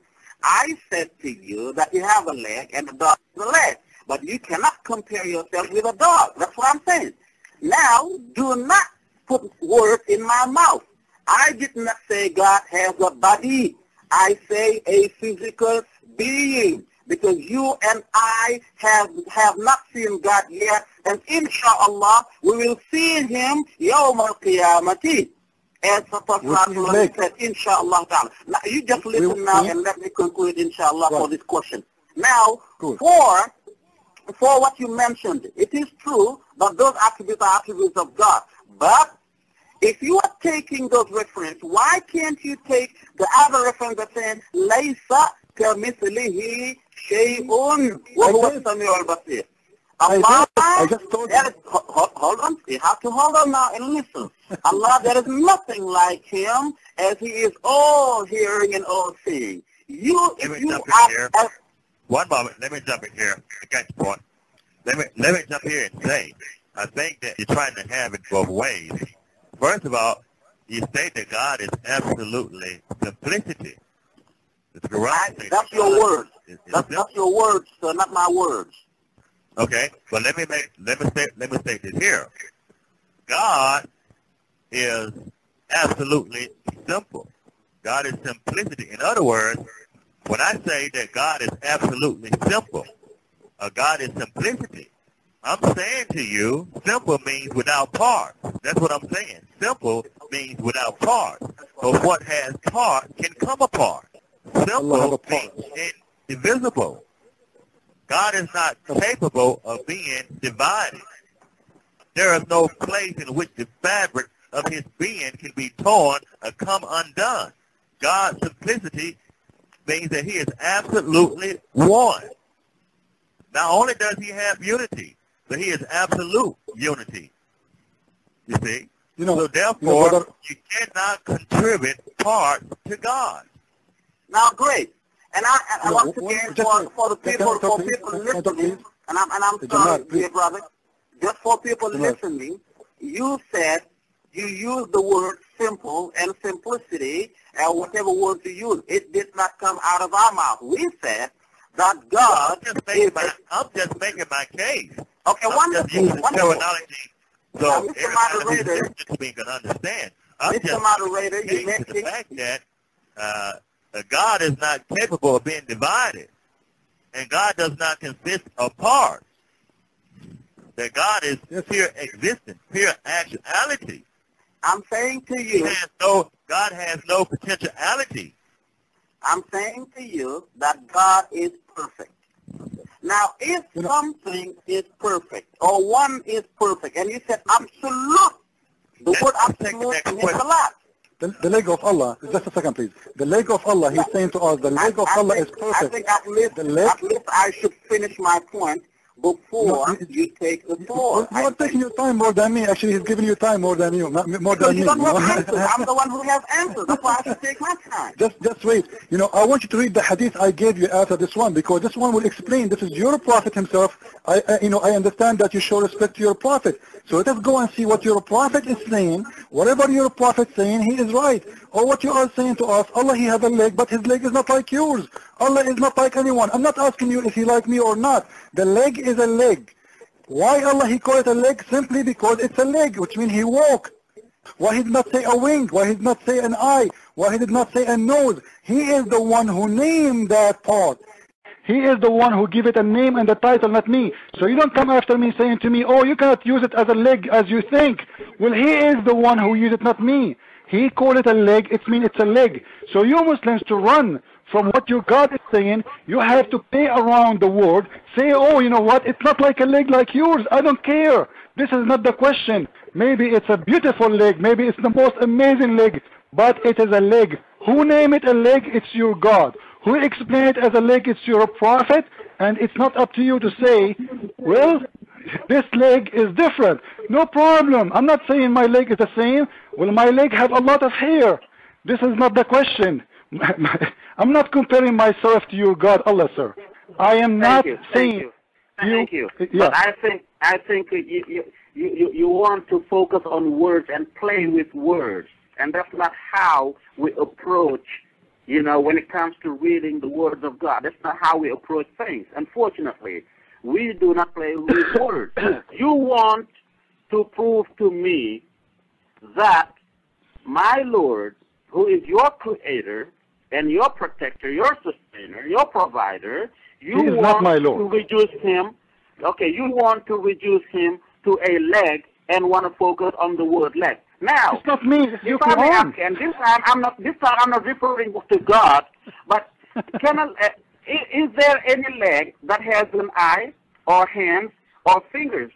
No. This is why It Allah- not this is what- no, no, listen, you this is- Please, Brother, listen. This is why Allah. This is why Allah is not like No, any let leg. me, uh, Let me This is why- I think you said earlier that you went to school, and part of what you learn in school is to to learn how to listen. And I It's want an to Arabic make my school anyway. before It's an you- Arabic before school. An, an Arabic school don't teach us that. Now, I'm saying you want to reduce him to that, but you are not quoting the Quran, saying the Quran reduced him to a leg. That's what I'm saying. And what I told you and Mr. the moderator earlier is that God is a being with attributes far from looking like his creature's attributes. He is the absolute being and the beginning of everything. So why do you want to go ahead and give an image to him like what you have as you have not seen him and still cannot sense the being of God as a perfect and absolute being. Now let us be Great. frank and let, Let us be answer. also open as intellectuals in order to debate this clearly. What I want you to do is if you cannot compare yourself with a dog or a monkey, why do you want to reduce God as a perfect being to a leg, as he mentioned in the Quran or in the Hadith that he has a leg or an eye or a hand or fingers? Why do you want to do to God what you do not accept to, to yourself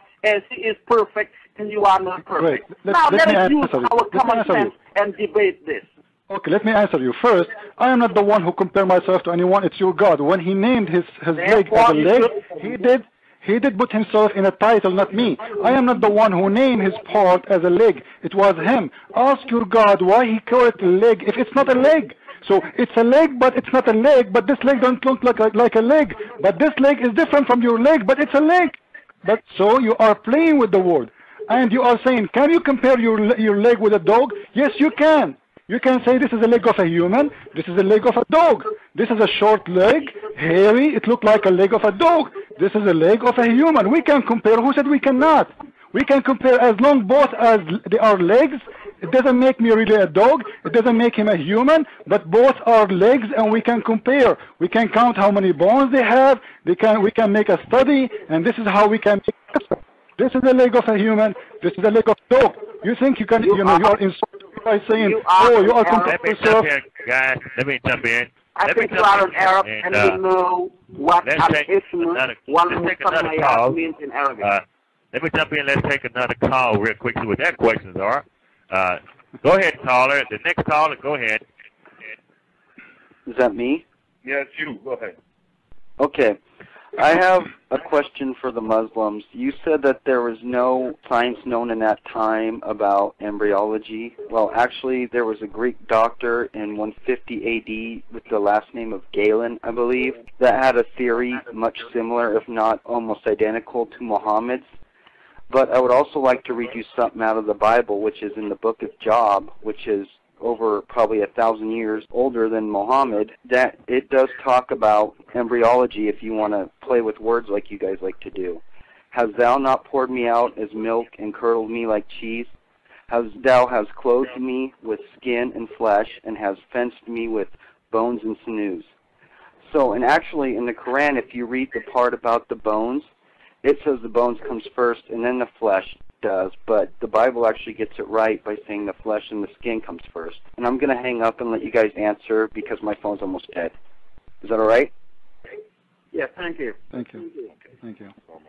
Yes, uh, thank you. First of all, in order to answer to your question, I, I'm not saying that embryology was not there when the Quran was written. I'm saying science was not developed enough in order to explain things as they explain it today. And this is why the scientists, most of them, they refer to the Quran mainly to those verses talking about how a human being is created in order to say, yes, in the 7th century, the answer was there, but science was not as developed as to bring the explanation to that which was mentioned in the Quran. And that also is a miracle to show that Quran came not for a particular time only, not for a particular group of hum, human beings, not also for particular circumstances, but for all mankind, all times until the end of time. While, and I'm not going to jump in other books, but I'm just talking about the Quran.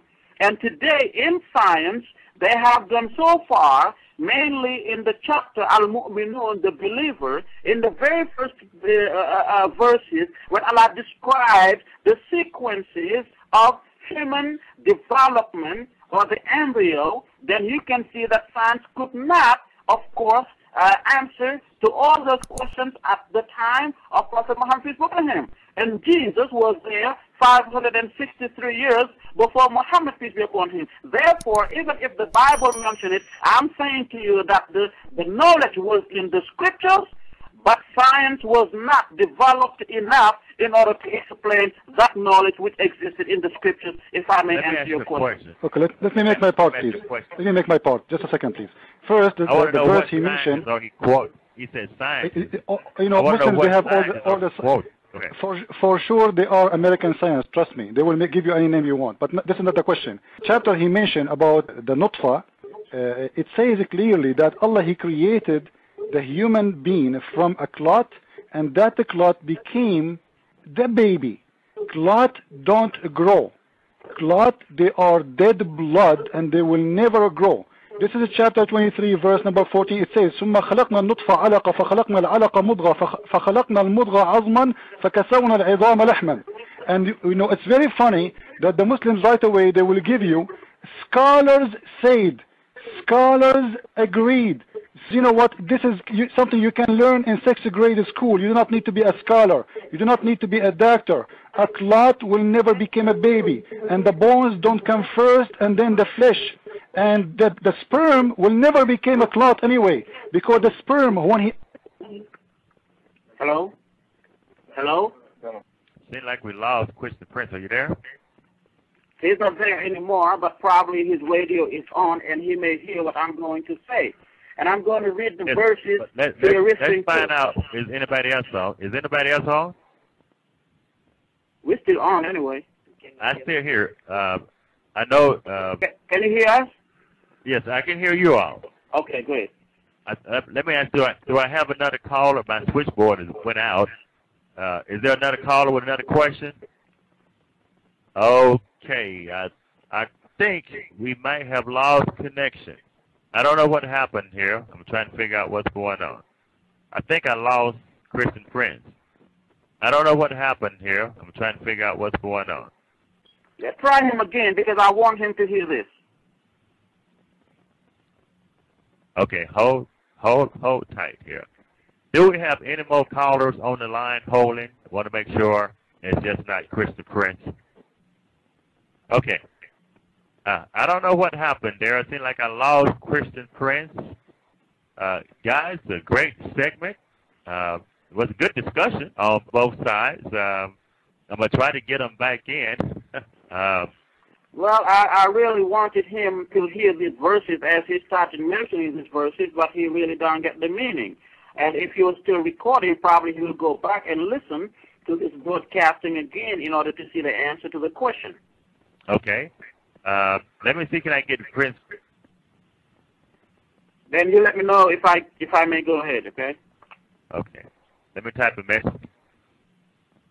I'm gonna have to put him on conference call. Hello? Hello? Moderator? Hello? Okay. Hold on, guys. I'm gonna have to make uh. Christian Prince, are you there?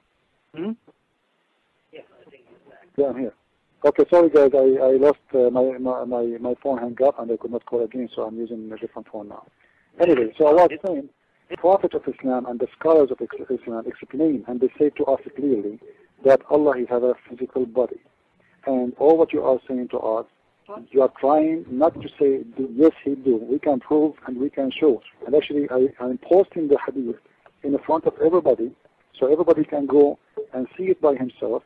It says clearly that Allah will show his leg. All what you are saying to us, the leg of No, Allah you're missing the point. That's leg. not that's not where we were, sir. we already discussed that. We were talking about the creation, and we were trying to answer to the question of that caller. Right, right, so right. He just, he just stepping back. Oh, okay, sorry. I, I forgot that. Yeah, sorry. yeah, okay. The Quran says that Allah created from the sperm, the sperm will turn to be a clot. If you open with me chapter 23, the verse number 14, the one you mentioned, not me. You are the one who chose that one, not me. This is, I, I will, I will pause Ibn explanation, and I will pause the translation made by Muslims for Muslims. And you will see that it says clearly that the sperm itself turned to be a clot. And this is very wrong. Number one, the sperm never turned to be anything. The sperm, after activation, the egg, it dies. It doesn't stay alive. And according to the verse you are, you know, you are posting to us or you are mentioning to us, you are saying that this sperm will turn to a clot. Let me let me make let me pause the verse, and they will post it for everybody in the in the in the radio show, if so everybody can read with us. This is the verse, number uh, chapter uh, 23, verse number 14.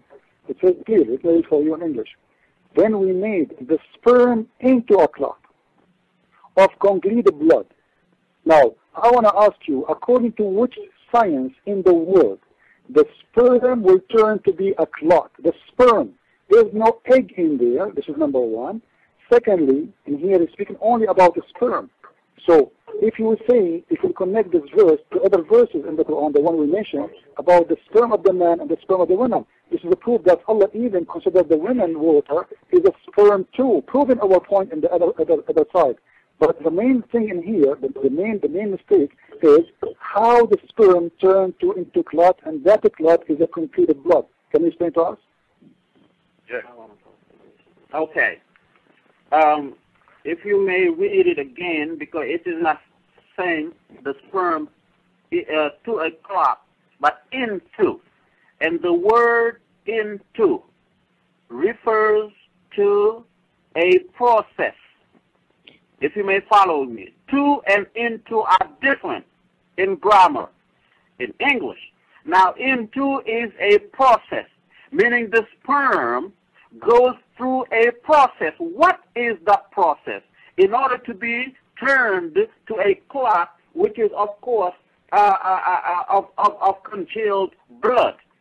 That's the point you're missing. You want to make the sperm a clot while the Quran is telling you into a clot, meaning going through a process. And that process is the process of the sperm being introduced to the uh, to the egg, and that then the fertilization will come and go through that process in order to make a clot. And once again, the word into is important, as you may hear from my brother Nabil. After the process of fertilization, and that is the joining of what's called the pronucleus with the germinal, germinal of the follicle, this is when you get fertilization. Then you have what's called the 2, 4, 6, 2, 4, 8, and then the blastula. The blastula stage, then the morula stage, then the blastocyst.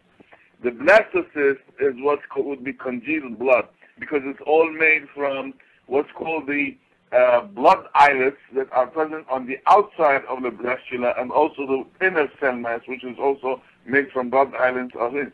So in fact, there is no better description about this process better than the one that's present in the Quran. There is no better description of what the science now has confirmed that's present in the Quran if you really understood what was in the Quran. Okay, thank you. Well, I want you to open with me, please, Ibn Kathir. You I want you to open with me, Yeah, Ibn Kathir. you know, why you always you want to go me back you want to go to Ibn Kathir? Uh, What, what, what, what's wrong with Ibn Kathir? Ibn Kathir now is a Jewish guy. When you use Ibn. Kathir, you have to be on the level of Ibn Kathir. And then you have to pick somebody else and put It's my turn. It's my turn to answer, please. Please, Ibn. Kathir doesn't understand what the Yeah, was. Ibn Kathir doesn't know what the morula was. Yes, sir. Nabil, know what the please, please. was. No, no, Kathir no, doesn't suddenly. all of that. You don't, you don't want me to talk? Suddenly, You Ibn Kathir you knows nothing, and you, You and you are a scholar more than him. That You was are, you are saying to me now, listen, can, can I talk? We, we can talk at the same time. Ibn Kathir for you now. So, suddenly, But don't tell me God is the leg let me talk, please. Let me talk, please. But don't tell me God is leg, that's what you're You, going see, you, to don't do. want, you, you- you don't want me to talk. You know, you're No, trying to shut me up. I don't want you tell me Listen, listen, listen. the uh, how come Ibn Kathir agree with me? How come? How come all Islamic scholars agree with me? What's wrong with You Ibn Kathir? How Ibn Kathir Kathir. Suddenly, let me, let me. Suddenly, suddenly Ibn You agree with he is, the Kathir because you wanted, you were looking for some something that is going to be, uh, yes, yeah, that fits listen, your own. Nabil, let me, uh, let me uh, talk, please. Let, let That's me all talk, you let me talk. You don't want people to hear, and there there are people, they are listening, they are judging. I am giving a proof. The scholars of Islam agree with me, not with you. When you gave me the explanation now, your brother, he said, into, into, right? Read with me, Ibn Kathir, he is saying the following, that the nutfa, read with me please, I, I gave you the link, I hope they are for you, I want you to open with me. Read with me please. It says, and then we take the cloth into a little loom, the cloth into a little loom, and then he, and he says, saying we made the nutfa into a cloth. So he made the nutfa itself a cloth. This is very wrong. The cloth will, it's not the nutfa, and the nutfa do not transform to be a cloth. Nutfa is simply very simple DNA message. We activate the egg of the women have no blood. It is not a blood and has nothing to do with the blood. And and I want you to, I don't in front of really everyone, understand. Well, you don't really understand the process. You are not describing the process. You don't know it. it's yeah, not I don't know me. what's your background, but it let me your tell you prophet saying. I do have a It's your PhD in, in, in, in cellular and molecular biology, and we have also with us, the Mu'ayyiddin, who's also a doctor in, uh, uh, and he has a lot of extensive research on this issue. So, uh, usually what you're describing is totally uh, out of your field, that I know that for sure from the way you're talking, that's one thing. Second is that you're trying to say that the Quran says so. Now, we have two me? individuals in this room that we have the credentials and we teach at universities, and we know that what's in the Quran is better, there's no better description. Now, you want to go back and tell me this and this and this and this. No, I'm not you saying that. listen. I am Sometimes it's better for you to listen. I'm showing you the scholar. It's not, it's it's better not me. for you to listen. I'm telling you, in this room here, there are two individuals who, on a day in, day out, teach this process at at medical institutions. And what you are describing is wrong from a medical process. So don't try to say that that's what the Quran is saying. You're trying to put it Well, in the well, you know, it's very clear, Nadir. It's very clear. You don't want to read your scholars' explanation. You are trying. You are trying. Okay, listen. How the little loop, little, the little became became a flesh. One at a time. One at a time. Yeah, I One was at a time, saying please. you may also consider the time, and I know it's been two hours. And uh, instead of arguing, I think the audience should actually benefit from this if we could really have a sincere and intellectual debate. And I think it's getting too late right here in Memphis. I don't know about you all, but uh, we would like, with your permission, uh, to probably end it here, call it a day. And if you want us some other day, some other time, we will be available if you really uh, call us on time and also that we may have time to get ready for any type of discussion you would like your audience to hear. And right now I'm showing 1021 and we started at 8 o'clock and we took the responsibility to come to your show for two hours. With all due respect, we would like to ask you, with your permission, if we could Uh-huh. call it today and conclude, okay? It's up you. We, can, we can't force you to stay, guys. You know, I'm glad that we have this conversation, and I hope you nobody get upset or angry. You know, we are trying to prove our point, and you have the right to defend your faith. It's your faith, so nobody can blame you. Mhm. Okay, and I'm I'm glad to talk to you, and I hope we, we will talk again. Mhm. Okay. Well, I tell you guys, if we want to, uh, Christian Prince, I know you, you, you, your schedule's pretty tight. And let me say, I do appreciate uh, all of you all coming out tonight, uh, calling in tonight and engage. I think it has been uh, a really very in-depth discussion, uh, one that uh, probably would need uh, an extension, but uh, time uh, would not afford us that tonight. Uh, I can uh, pick up again at another time. Uh, this show airs at 10 p.m. Central Standard Time, Monday through Friday, and 7 p.m. Central Standard Time. Uh, I do have a guest on the show next Friday night at 7 p.m. Um, that would be on for probably about 30 minutes. So uh, I don't know whether or not you guys are busy on next Friday night, but we can pick up another uh, debate. We can uh, pick up on when we left off at 8 p.m. next Friday night, if that's good with both sides. Uh, there again, I wouldn't want to superimpose, and uh, Well, I, you know, we wouldn't. it, it, it's up to those gentlemen, and uh, if they if they agree right away, we can schedule that day. You know, for now, no problem. Yeah, Yes, next we'd be, Friday. willing to, we'd be willing to answer to your invitation anytime, but remember, you just called us yesterday and we really did not want to make this in vain. That's why we came and we have to cancel Okay. our class in order to Uh-huh. come to the show, and uh, which of course we really appreciate your invitation. At some other time, you have Dr. Moyen Dean's number. Call Dr. Moyen because he's the one in charge with the media committee and discuss Uh-huh. whatever he agrees with you, we go with that. Do next Friday night at 8 p.m. the same time. uh, Does that is? Could you be available next Friday night at 8 p.m.? No, let, let us let us see first, you know, what they are planning to do, and because honestly, I don't care much for. Uh, with my respect to you, brother, I, I don't mean anything, you know. But I don't care much for you know radio show or anything because always it's aimed in the same way, you know. You show them the proofs, you prove them wrong, and they still didn't want to read the proofs. I want to debate people who want to read my proofs, not to say to me, giving me a speech. So I prefer if we can get from their side somebody who will read what we will provide them, not somebody who will say, say to me, you are wrong, you understand it wrong. You cannot in Islam explain yourself from yourself. You have to give reference. You have to give proofs, and those proofs have to be the scholars. I am not the one who is allowed to explain the Quran. He is not the one who is allowed to explain the Quran. All what we did in this debate is You're finishing this, or you giving another lecture now? No, you can go, brother. If you if you are in rush, it's okay. I'm just I'm just, talking to the brother here. If you wanna if you wanna have a debate, we have at least to agree to read the proofs, to read the reference. Isn't it isn't it sad that all the the, the proofs I, I showed, none of you accept to read, simply because those proofs prove me right, prove you wrong, and this is why you're rejected to read them. Okay, when you So, want to tell us I today, say- you have to tell us ahead of time, and you have to say what are your, you know, the books that you're talking about, and all of these things, so that everything will be available and ready. You don't come in and just uh, drop out of the blues and say, you know, we want to do this and we want to do that. So you, This is why it's a debate. I'm not you trying level to the give my question. before. In all fairness to Chris Prince, he can't give you a transcript a week early of his uh, rebuttals and debate and his talking points.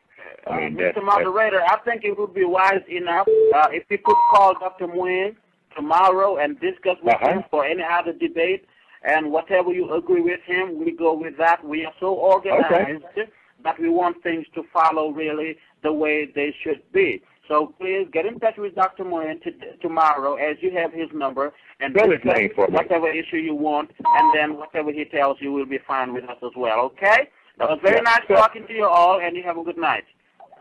Okay. Thanks, guys, for coming. Uh, thank you, Christian Prince. Uh, Thank yeah, Chris Prince, for coming. Uh, I, I think you've done an excellent job there. You know, I agree with you. If, if they're not willing to read the evidence, the proof that you give, I'm going to try to schedule it next Friday night at uh, 8 p.m. Central Standard Time. Uh, You know, if you if you want to do that, tell me from now so I know that's Friday. You know, Uh-huh. and I want I want the date for sure because you know in your side it was showing wrong date. You know, for me, if I did not open your, my email, I was not going to call you anyway because in your side it was saying tomorrow. You see, there's a mistake in there. So I for me, noticed. I thought, yeah. So for me, I thought, you know, okay, you know, there's another no debate. So uh, actually, I, wa- I, wa- uh, we were lucky that uh, to open my email in the same time of the debate start, you know, the show start. So Uh-huh. I told you. Otherwise, I would not know. And, and by the way, take my advice. Those people, they will never read. This will be playing their games. When they are debating someone as an American, he do not know. They are giving all kinds of speeches. A scientist proved to us in America, in Japan, in Thailand, in Chicago, and, and, and But all of this is false. You know, this is your scholars. This is what he said. If you are really an honest man, read. And this is why you see they just want to run. Did you notice? They are the one is asking for a living, not us. Right. Because simply they could they could not make it. They are shocked. I think you kind of took them for a ride, there, you know, are you going to post the, the, the whole recording in the in the site? Yeah, it's gonna once I, once I hang up, once me and you are done, because we still screening. We got two minutes left. But once I hang up, it's going to um, the system would uh, save the file and it will be post probably in another five minutes you'll be able to listen to it. Another Okay, three thank minutes. you very much. So people they can go and get. I, I want to say thank you for uh, for uh, inviting me, and I hope you did enjoy uh. I enjoyed it, man. I tell you, you're you're, you're great. You know where to find me if you need me. I, Anytime. I'm going to set the time for 8 p.m. on next Friday night, and we'll just see what they say. Okay? Let, let me know. Let me know. For me, I, I consider them they will not come because I, I can tell you from now, they are terrified. They saw something they are not ready for. This is why we start saying, oh, we are not ready. He told us yesterday. And, you know, a scholar in Islam, he does not need to be ready. You know, Uh-huh. you, don't, you are not ready about knowing your God. You are not ready about knowing your book. Now you need to be ready. And not, if you are not ready, why you show up? Who is forcing you? You know, who, who told you to come? Say, I cannot, you know? Well, I think I contact them on on, on Wednesday there because, uh, matter of fact, they just got my phone call back. But uh, It's an excuse for it's an excuse for for their loss. No problem. Anyway, brother, thank you very much. God bless you. All And may the Lord support you in your mission. Thank you. take care. Bye bye. God bless you.